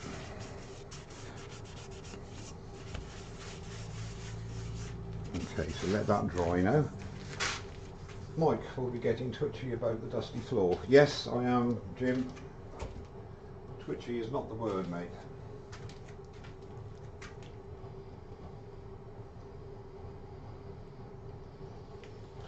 Michael Stratton, have they ever thought about becoming a production turner? Um, Um, no, Mike, I have not. I have the utmost respect and admiration for production turners, uh, like our very own homegrown Steve Jones, absolutely incredible craftsman, an artisan of the craft, but um, I, I, haven't got the mindset to do uh, production turning at all. I'm lucky to get two, two things the same. What's a good recommendation? Finish for goblets that will have alcohol in them. Uh, glass, glass is a good one. Just just drink out of a glass bowl. um, Rust, Rustin's plastic coat is very good. Um, my old mate Chris uh, Chris Pooley uses that on his goblets. Uh, as I said at the beginning of the uh, of the stream, I don't actually um, do any goblets for use because they're normally in three pieces, so they leak before anybody says anything. um, nobody picked up on that. That's good. Questions for the group. Anyone cutting their own sanding discs with a punch? Wondering how much you save buying a roll of punching them yourself. That's a very good question, actually, worth the effort. I, I think it depends how many you use, how much you use. Um, but yes, you can. There are many, there are quite a few good videos on YouTube actually of uh, good good methods of punching out. I punch my own if I get a large punch. oh You sent you to Coventry, Mike. Yes, I know. Nobody, nobody cares. Nobody's speaking to me anymore. As long as you're all having a good time, that's all that matters. I can have a drink now, you see. So uh, make sure I don't drink the sanding sea instead of my diet coke. Yeah, with a hole saw, gen uh, Martin, gentle turn, with a modified round hole saw. I've seen that done quite effectively actually on, on a, a, video on YouTube. Can't remember who who's from. Okay, while you're enjoying yourselves and getting fed up with me, Ian Maud, are you aiming this at new turners? Perhaps you could mention ensuring your tool rest is not going to catch. Uh, yes, um, yeah, very very good point, Ian. It's not really for it's not a beginner's guide. It's just for the newer turner turning a goblet. But yes, I did say in the very beginning. I think make sure your tool rest doesn't catch your work, which is obvious to most of us, and yet it still happens. Still happens on occasion. Right, let's change the camera to the um, overhead one, I think. Yeah, okay.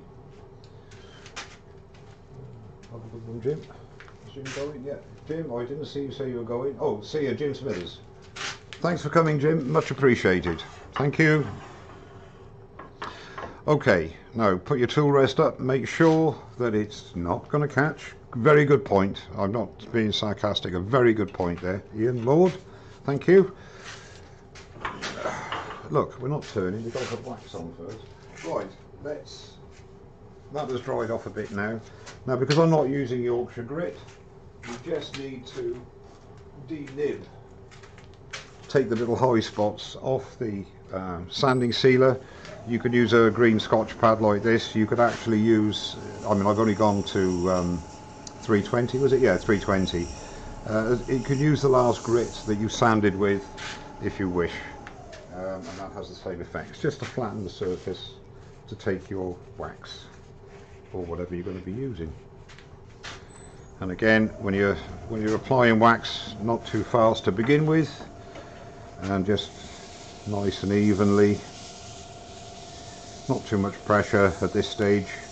All you're doing is wanting to get an even streak free application of the wax.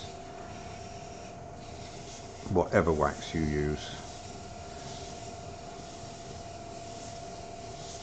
Okay and let that cure a little bit and then give it a buff up. Give it a couple of minutes couple of three minutes. There's already a bit of a shine there especially if I put this light on God, look at that shine. okay. Um, yeah, the reason I'm not using Yorkshire grit is purely and simply a time factor. It's not uh, Ed, there's only to cause trouble between me and Glyn. I've mentioned Yorkshire grit, that I use it nine times out of ten. Um, but for this, this is not a, this is about the goblet, not so much the finishes. Sunny this punchy. The, the big thing with Yorkshire grit, I'll come back to my face for a second, the big advantage with Yorkshire grit, especially not for the only reason, but especially if you haven't got what I would term adequate dust extraction, and again for the newer turner, Yorkshire grit cuts down on the fine sanding dust because you merely have to sand to 240 stroke 320 depending, um, and that's it. Because it's the 400, the 600, and possibly even the 800s if you go that far that have that produce the very fine particles that are airborne and they stay in the air. And even if you've got an air filtration system you will be surprised how much stuff gets trapped in that filter. Um, so Yorkshire grit because of its the way it is it's it, it is um, apart from being an abrasive paste if you like which it it, it um, breaks down as you continue to move it move your cloth or paper towel up and down the work with the Yorkshire grit applied. It breaks down to very fine particles. I believe it's between 1000 and 1200 grit but it is not the cure all for everything. You have to sand to a good finish prior to using it but it cuts down on that fine dust so I highly recommend it for that. But in its own right it leaves a superb finish ready to apply your wax of choice Gareth Dalton. Yeah, I mean Yorkshire Grit is brilliant. It really is.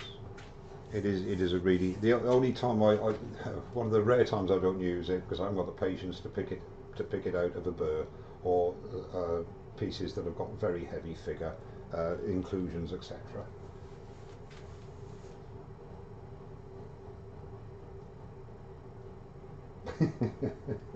nice one, Terry. Yes, Ed. Uh, all punching out discs now. Okay. Let's go back to camera one. Okay, so again, now that's virtually gone off now. Up to about 13, 1400 revs and just rough him off. Now this isn't going to give a superb finish because I didn't sand it adequately and I didn't use Yorkshire grit of course but it just gives a bit of a sheen. And it shows even if you just put sanding sealer on sand it sanding sealer the only sand to 320 you still get you get a bit of a showing. Um, and it, it, it, feels quite smooth. It's not too bad. No tool marks not that I can see anyway notice I got the camera out of focus. Okay so let's go back and continue. Again making sure thank you for that Ian uh, making sure that your tool rest is free of your work, especially if you're roughing down, of course. Okay, and now we will get rid of the sanding apparatus. Two seconds. Quick drink.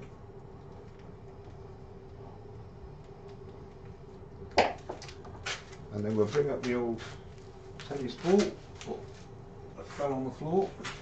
Okay, bring up the tailstock. The, the reason for, as I say, for the tennis ball, it is not essential for a goblet of, of this type, really. It's alright, just got bits in there. Um, but it does give that little bit of stability, which is always handy. But not too much pressure. Okay, let's get your tool rest set, it, set up. And all we're going to be doing is working our way down the stem and there are various ways of doing that. Again I tend to like using my half inch spindle gouge but you could use a half inch, uh, a quarter 3 8 bowl gouge whatever you feel happy with. Okay. So again revs around 1500 and all we want to do now is get rid of this wood. To about there and that's where the base will start to come up. So just nice easy cut, lift the handle,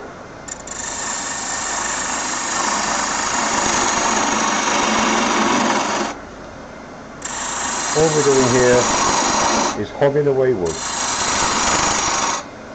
Move your body, pick up the top. Now, what I would suggest is again work in sections get into the habit of working in sections Not so critical for a goblet of this nature. But when you get to the thinner stems, very important to work on a section at a time. An inch to an inch and a half, an inch really. Now we're going to start getting to the thickness or diameter of the stem. Now I want to keep that fillet obviously so what I've got to do now is to go in, pick up the cut on this and move my body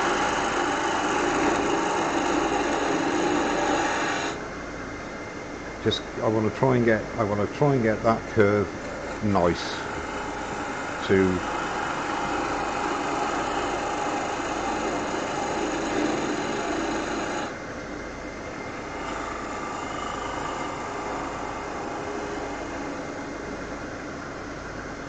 a little bit more. Just very light cuts. And that gives quite a nice shape. Just undercut there.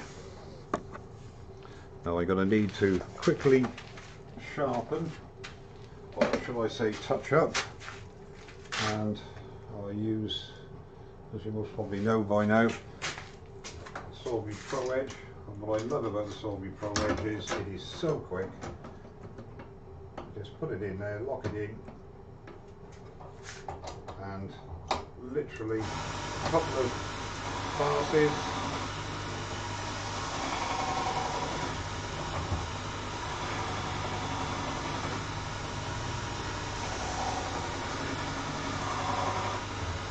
Job done. Perfect edge every time and you'll see, well I will see a difference.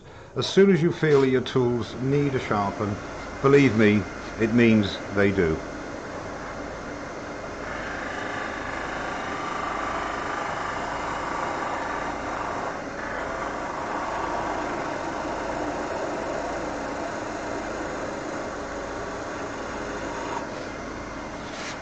Perfect. Now, again, just keep hogging away the wood.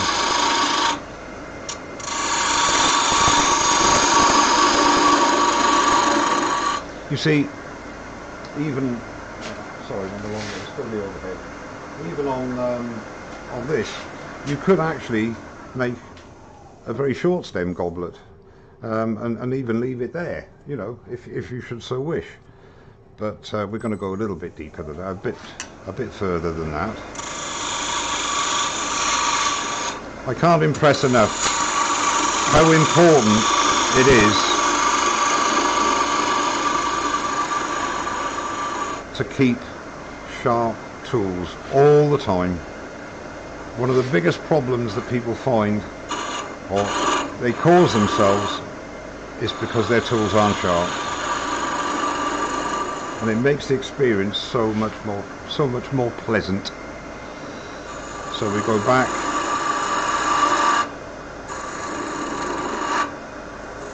Nice easy cuts. Now at this stage I would use my skew chisel normally to just refine that. But I'm not going to do that because I don't think that a, a the newer turner it's not a necessary it's not a necessary um, step you can get a very smooth stem without doing that now you can see already I'm doing this concave Oops, see, like, why did I get a why did I get a slide there? I didn't I didn't get my bevel. We'll just get rid of that. I should what you should do is go in at 90 degrees, establish the cut, twist. There's my bevel. I've got my bevel now, so I'm not going to skate backwards. Lift the handle, twist very slightly. Now you can see here that I think you'd agree that already I could turn round and say that's it.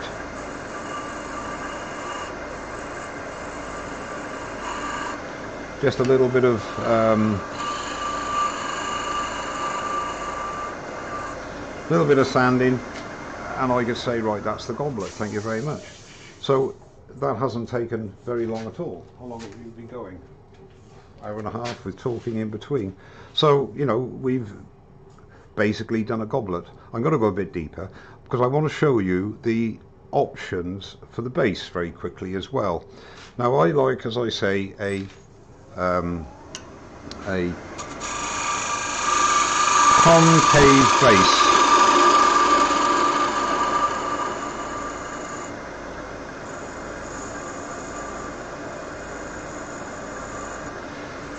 That's the sort of base I prefer. I think that looks much nicer. I don't know if you can see it there, look.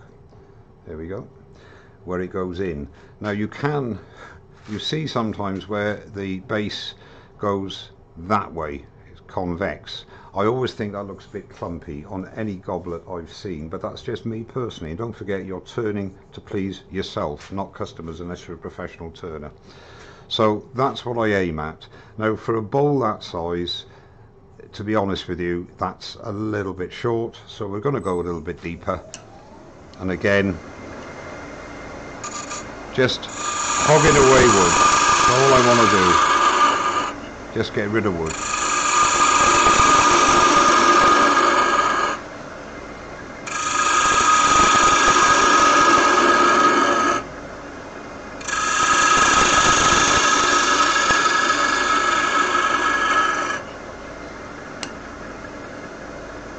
And then it, it depends what you want to do. You know you can just leave it like this nice and plain. You can put a little bead on it if you want to. Play around and look at the end of the day if you get a catch and you ruin it does it matter? Not really. It's loads more wood. Um, practice on wood that you have no problem messing up.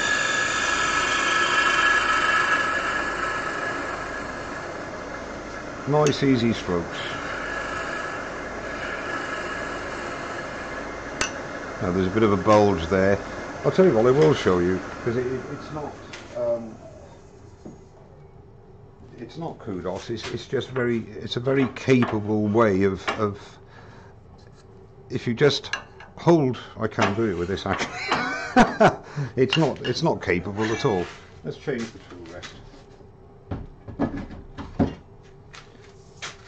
Just to show you that it, it is a very good way of um, finishing up on your there we go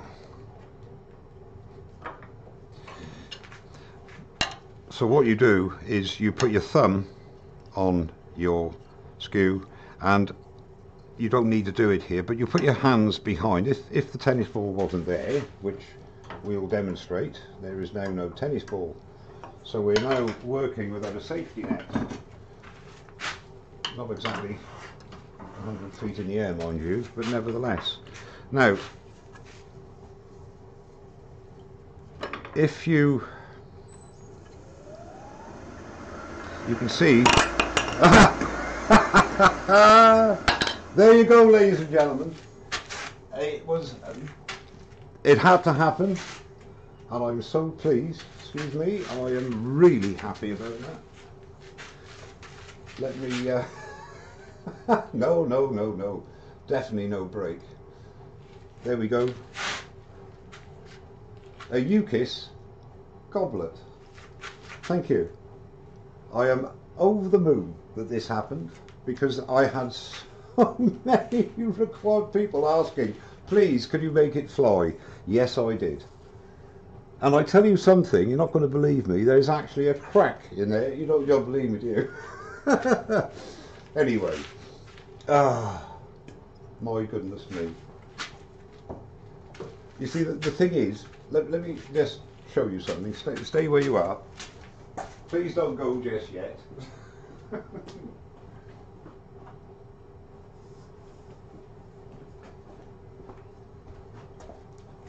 Ask yourself, how can a man that can turn a goblet like that not turn a little piddly goblet like that? That's, that's what I ask. Anyway, um,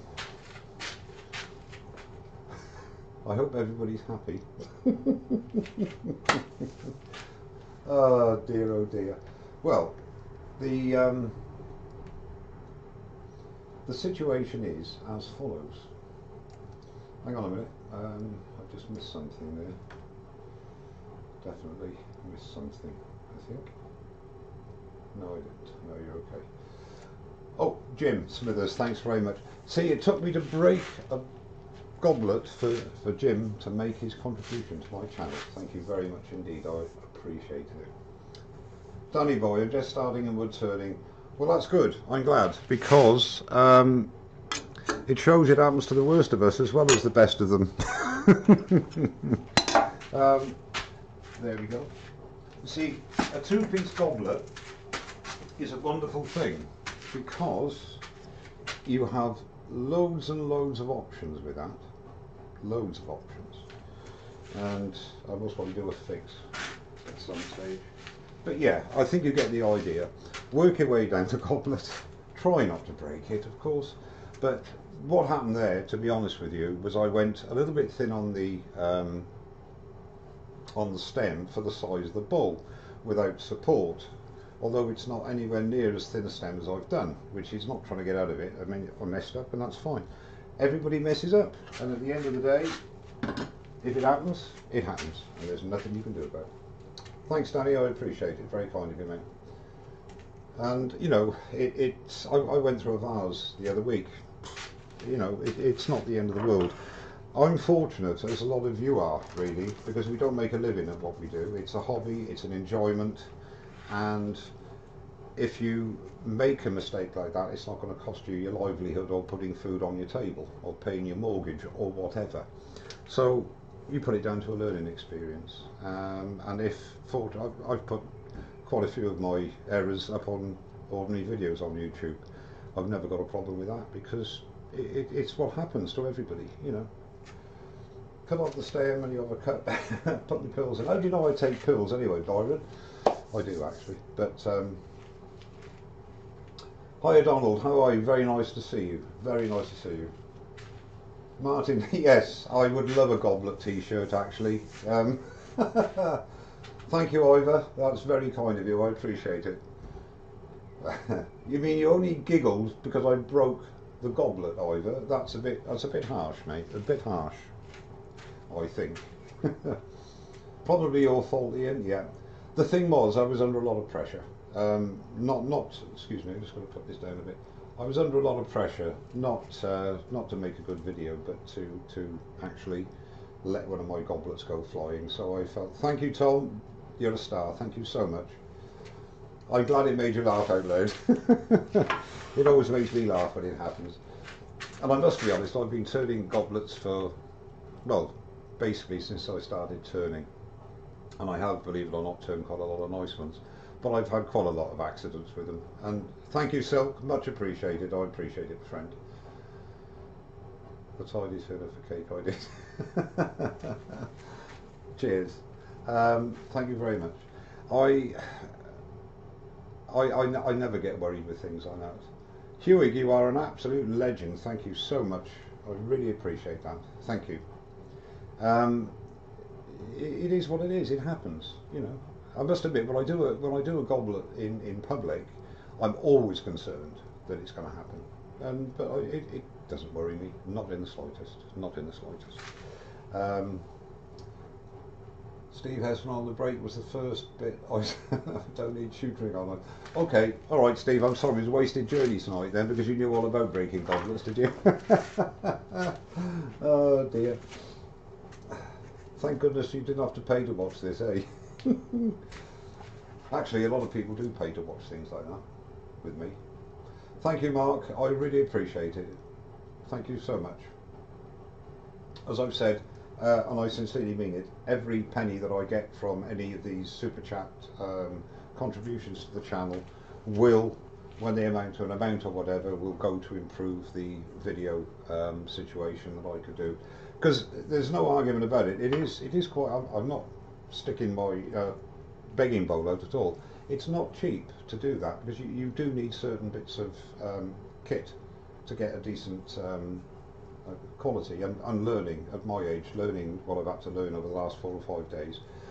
Thank you very much, Thomas. I really appreciate it. Thank you. Um, I've learned an awful lot, and thank you very much my friend Scott War, who spent two late nights doing it on uh, on Zoom with me, and my good friend Martin Saban Smith, who was never, as I keep saying, never refused a phone call yet. Um, he must cringe every time his, his, his mobile goes because it's me on the end saying, just a quick chat, can you tell me, can you tell me? Um, but they, they've been absolutely wonderful. Um, Meyer, I hope you design. Thank you, Steve. Oh, very kind, Steve. Thank you so much. Very kind of you. Breaks. Sorry, boss. Thanks for having the courage. I've got humour to do that. I've got to have courage and humour to do it because it happens so often, you see. Steve Jeremiah, you are so kind. Thank you very much indeed. I really appreciate it. TX51210, thank you so much. Much appreciated. Mr. Jacobson, I really appreciate that. Thank you, sir. Tommy Turner, thank you. I really appreciate it. It's very kind. I, I tell you what, with the no, it's all right, Ed. If you didn't laugh, you wouldn't be human, and you certainly wouldn't be my good friend Ed Oliver if you didn't laugh. but uh, I laughed.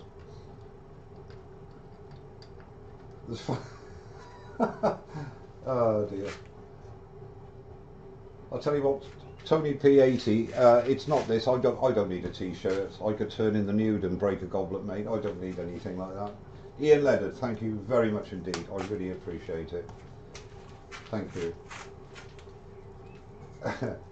well, I, I, know it's been entertaining, but. Uh, and there's still 300 of you there. That's amazing. Um, the turning, unfortunately, is finished for the night. It, it, it finished a bit earlier than I was expected. Uh, if you have any questions on a serious note, not that you would take any of my answers as being uh, of any help after that display, but no, seriously, if you have any questions, please ask them, um, and I do my best to answer them.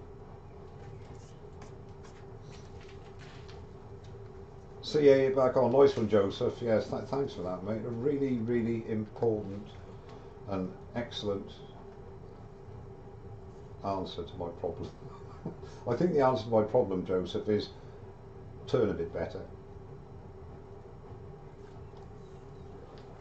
Wayne Bigfoot Woodcraft, thank you, sir, very much indeed. Much appreciated.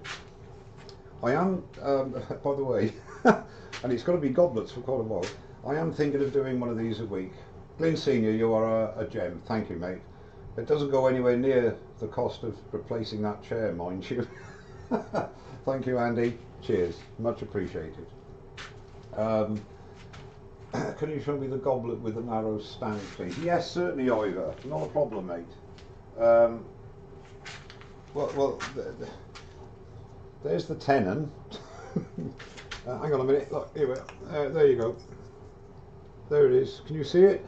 Yeah, there it is. Look, wonderful. It's very hot in here, so it's starting to wilt. And there's the base. it's actually, it's one of those. That is a candle here. You light that. Okay, you dip it in oil, you light it, and this this puts the puts the flame out when you go to bed. And if you didn't know that either, I just don't know. I really don't know. oh dear. As a newest here, I was getting a bit dis despondent with all my mistakes. Bill Ferrell, never be disappointed with mistakes.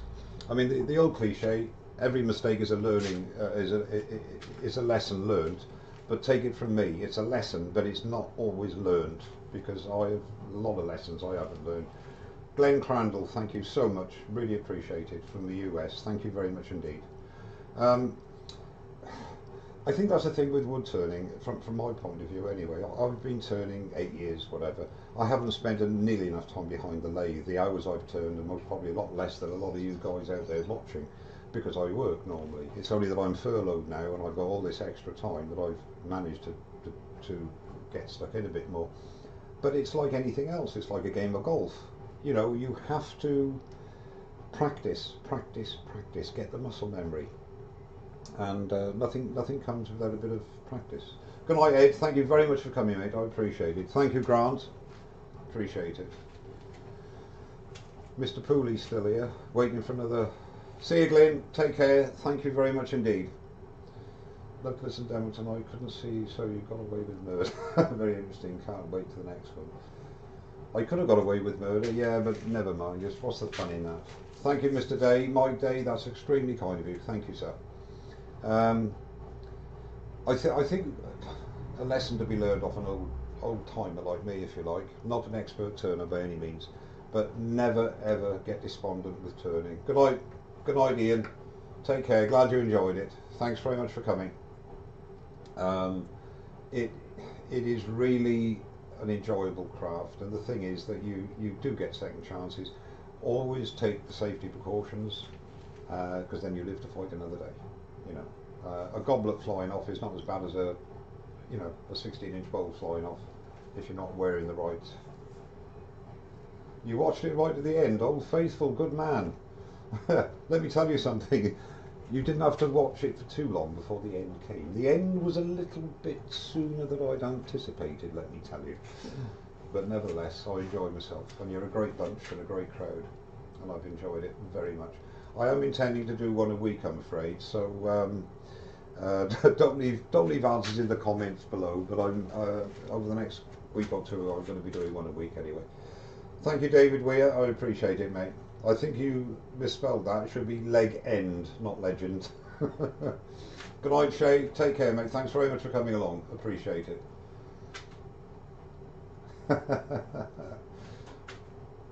Robin, thank you very much indeed. Look forward to it. Thanks very much for coming. Give my love to look, give my love to Carl. Give my regards to Carl. And love to you, my darling. Thanks for coming. What's a good wood sealer to use on turnings? Um, cellulose sanding sealer, uh, acrylic sanding sealer, depends what finish you want to use, but cellulose sanding sealer um, I've used for many years with great success. Thank you Pat, glad you enjoyed it, very kind of you. Grant, thank you, I glad, hope to see you back. What a good small project to start. Mushrooms, little boxes, um, dibbers, garden dibbers, anything. As long as you turn in wood and you make something that is either useful or you like looking at, it, it, the job's good. Oh, it doesn't matter, Ian Leonard. I'd be upset. Good night to you and thanks for coming. Need to arrange my shifts around your next one. Robin Jacobson. oh, you're still here, Robin. That's good. Start again, Mike. Joseph, I will if you stay. Uh, might even turn a pineapple. Who doesn't love you? No, I don't love you, Carl. Not anymore. No. I've decided I prefer I, I prefer Robbie. Sorry, especially since you've shaved your beard off. Um, thanks, Jennifer. Well, I've given you the inspiration now, but you can't do any worse than that, can you, my dear? Thank you, Todd. Glad you could make it. Thank you very much indeed. I will keep them coming, as long as I'm able. Yes, I'll, I'll, be sometime next week. I'm not sure when, but I'll do another live stream next week. Um, and it will be a goblet. I'm, not, I'm thinking of doing an off-centre goblet next week, so uh, sorry about that, Carl. I know you're upset. But um, actually, I'm rather impressed that there's only an eight-second lag um, from what I'm saying to what you're hearing and from what you're typing, what I'm seeing. It's not too bad, really. What, turn a pineapple? Yeah, okay, Leisure. If you provide it. No, I'm not. I'm not turning a pineapple. I saw Ed turned an apple the other day, which is good. Out of apple. Not wood. Good night, Steve. I wouldn't go that far, Frederick. Thank you. will do, will do, Dave. Thanks very much. And again, give Fee my love. We'll speak soon, mate. You take care. Stay safe. What do I do for a regular job? Um, funny enough, your surname, I'm a driver, a bus driver. I'm on furlough at the moment. I do that, and as a pastime, I just fly goblets. I've got my flying goblet license, so I'm okay. Thank you very much, Ignacio, from Me Mexico, and my best regards from Bedfordshire in the UK. Take care, Ivor, and thank you very much. I appreciate it. Glad you enjoy it. Thank you. Richard Phelan, thank you so much. Much appreciated. Paul Lockwood, all in a great evening. Ready watch live shows. Thank you. Certainly have a few, lad. Would be interesting to see more on camera video setup. Yeah, okay. You wouldn't want to see my setup at the moment, Paul, because it's very Heath Robinson. But uh, yeah, you know, maybe if you want to, we can have a um, message me. I'm off next week. I'm still furloughed, so if you want to message me, we can have a chat. Thanks very much, Richard. I really appreciate that. You thought I'd retired, Matt? Yeah, I know. I look at. I, I could have retired. I'm 69 this year, but I, I love my job that much. no, I got to keep working to keep paying for this hobby. Uh, right, another naked turner. Yeah, another naked turner. Yeah, no, there's only one naked turner, and it's not me. No, no, Matt Martin. It wasn't an eccentric goblet because it at one time it a straight stem. mm. Thank you, Stuart. Okay, good night, Stuart. Stuart Hayes, thank you very much indeed. Up at four. Oh, I will be the week after next, so uh, you have my sympathies. Take care and stay safe, mate. Thanks, Joseph. Okay, I'll look forward to that lesson. Wood glue? Yeah, I don't think so. Don't think wood glue is going to. We'll, we'll, hack it with this, to be honest with you. Let's have a drink. digital eccentric. Yeah, okay, Martin, you've made your point. I think you're right, actually. Yes, a dig digital eccentric goblet. Yes, that's fine. I'll bow to your superior knowledge. Thank you, Mr. Smithers. Take care, Jim. Afternoon. Have a good afternoon, mate. And thank you very much indeed. Thanks for coming.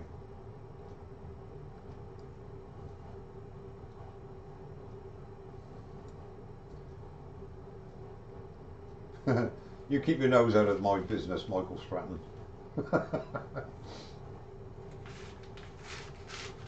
what kind of wood? Uh, it was uh, broken wood. No, it was um, it was chestnut and it did actually, and this is no no word of a lie, have a very small hairline crack in it.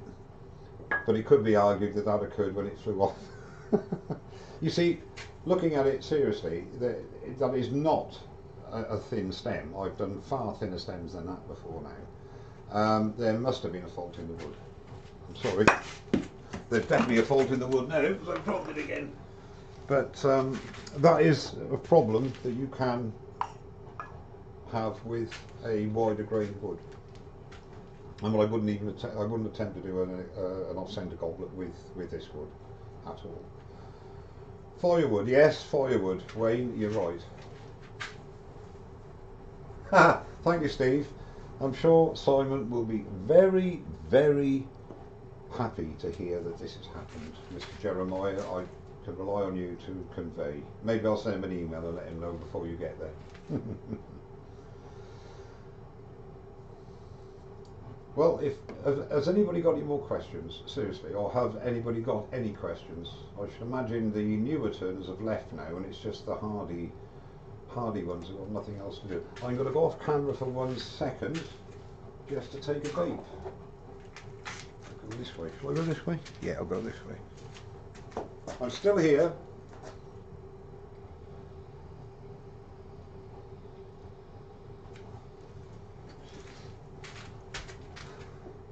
Ah, that's better. Thanks, Mike. Excellent. Thank you, Mr. Vogue. John, nice to see you. Thank you for coming, mate. Have a good, have a good one, Carl. You too. Give my love to Robin again. Thanks very much for coming. I really appreciate it. Grateful, right, mate. Time for a beer. Good man. Okay, Grant. Take care. Thanks very much for coming. I appreciate it. Hope to see you next time, or in a future one. Mike Angelus, thank you. I'm glad you were inspired to have a go. I hope you're enjoying your turning journey. Good evening, Richard Chester. It's all over, mate. you missed it in the blink of an eye. But I won't hide my talents behind a bushel. There we go. It broke. It's quite funny actually because my first public demo, I did an off-centre goblet and it broke, and my first live demo on YouTube and my goblet broke. So I hopefully that'll be it. We won't have any more broken goblets. My pleasure, Dominic, and thank you very much for coming, mate. I appreciate it. I was uh, Richard. Yes, I, uh, Richard Phelan. I was turning um, chestnut, which is rather a wide grain wood, and I'll blame it on the wide grain wood, not me. Good night, keep it crafty. Thanks very much indeed. Glad you enjoyed it. Thank you very much. Good night, Gunters. Thank you very much for coming. Appreciate it. What time is it? 25? We'll say half past nine unless anybody has um, anything needed to talk about or wants any questions. I did. Sadly, I'll watch it back shortly. I'm not going to put it up on YouTube. yes, of course I am. Uh, yeah, it'll be on YouTube for a week or two. Good night, David Flanagan. Thanks for coming, mate. Thanks, Martin. You stay healthy as well. Stay safe, mate. And look forward to seeing you next time. Thanks for coming. Really appreciate it.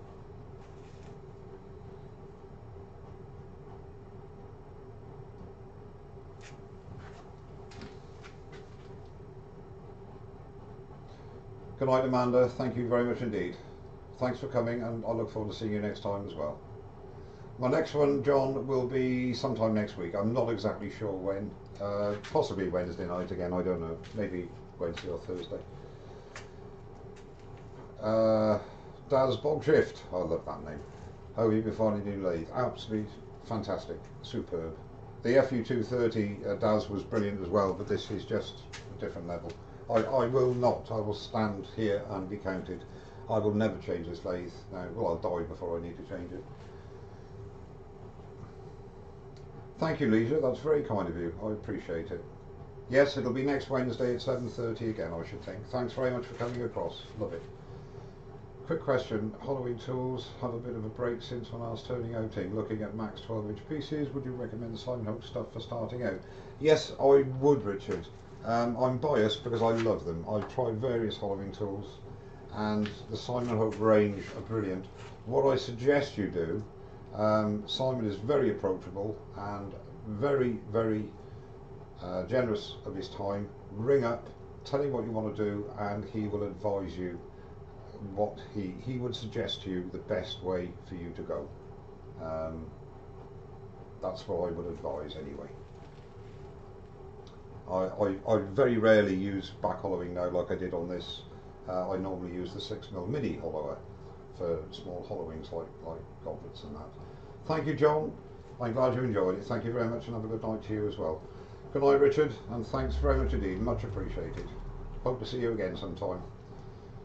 A review of your saw table now that you've been using it for two years. Hello Max. Um, very unlikely that I would review it again. Um, I did the one review. Basically, I'll tell you what. If you if if you're on Facebook, message me and um, I'll give you a reply on um, on Facebook if you like. Not really to do it here, but yes, you know, I, I will certainly pass on how I found it over the last couple of years.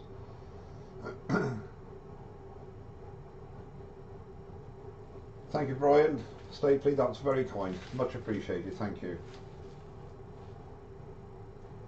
Thank you, Frederick Day. Good night. If I've missed any good nights, please accept my humble apologies. Thank you, Stuart. I'm glad. Uh, shame you couldn't watch it, but uh, we had some fun.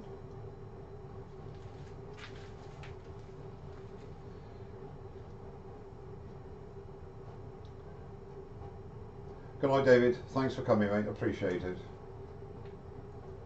Thank you, Eddie Studer. I enjoyed your company too. Thanks for coming, mate. You didn't miss much, David James. I got my pilot's license again on my goblet. Good night, Michael. Thanks very much indeed. I will indeed. You stay safe, mate. Thanks for coming. Appreciate it.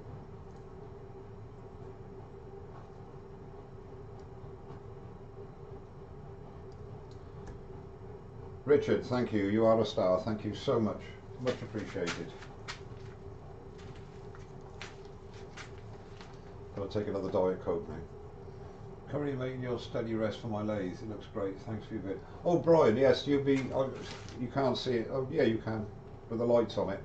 Um, I've had it since I made it. Only thing I've done is raise it each time was the, when the lathe bed gets lower from the spindle. But I've still used it. I keep meaning to make a proper one, but that one does the job. Thank you, Marat. Enjoyed your company. Thanks for coming. Hope to see you again.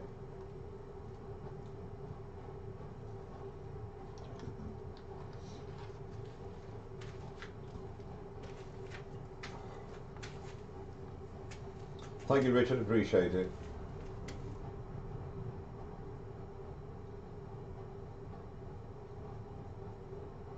And I mean, really appreciate it. it's very kind of you. Thank you.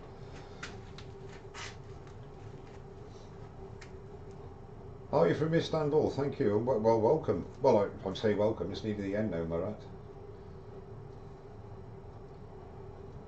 But thank you very much for coming in. I appreciate that. That's one thing that amazes me is how many people come from all different parts of the world. I mean, I've known, I've had the pleasure of um, meeting a few uh, of my friends from the ether since I've started turning. But um, this medium is excellent because uh, distance is no object, is it basically?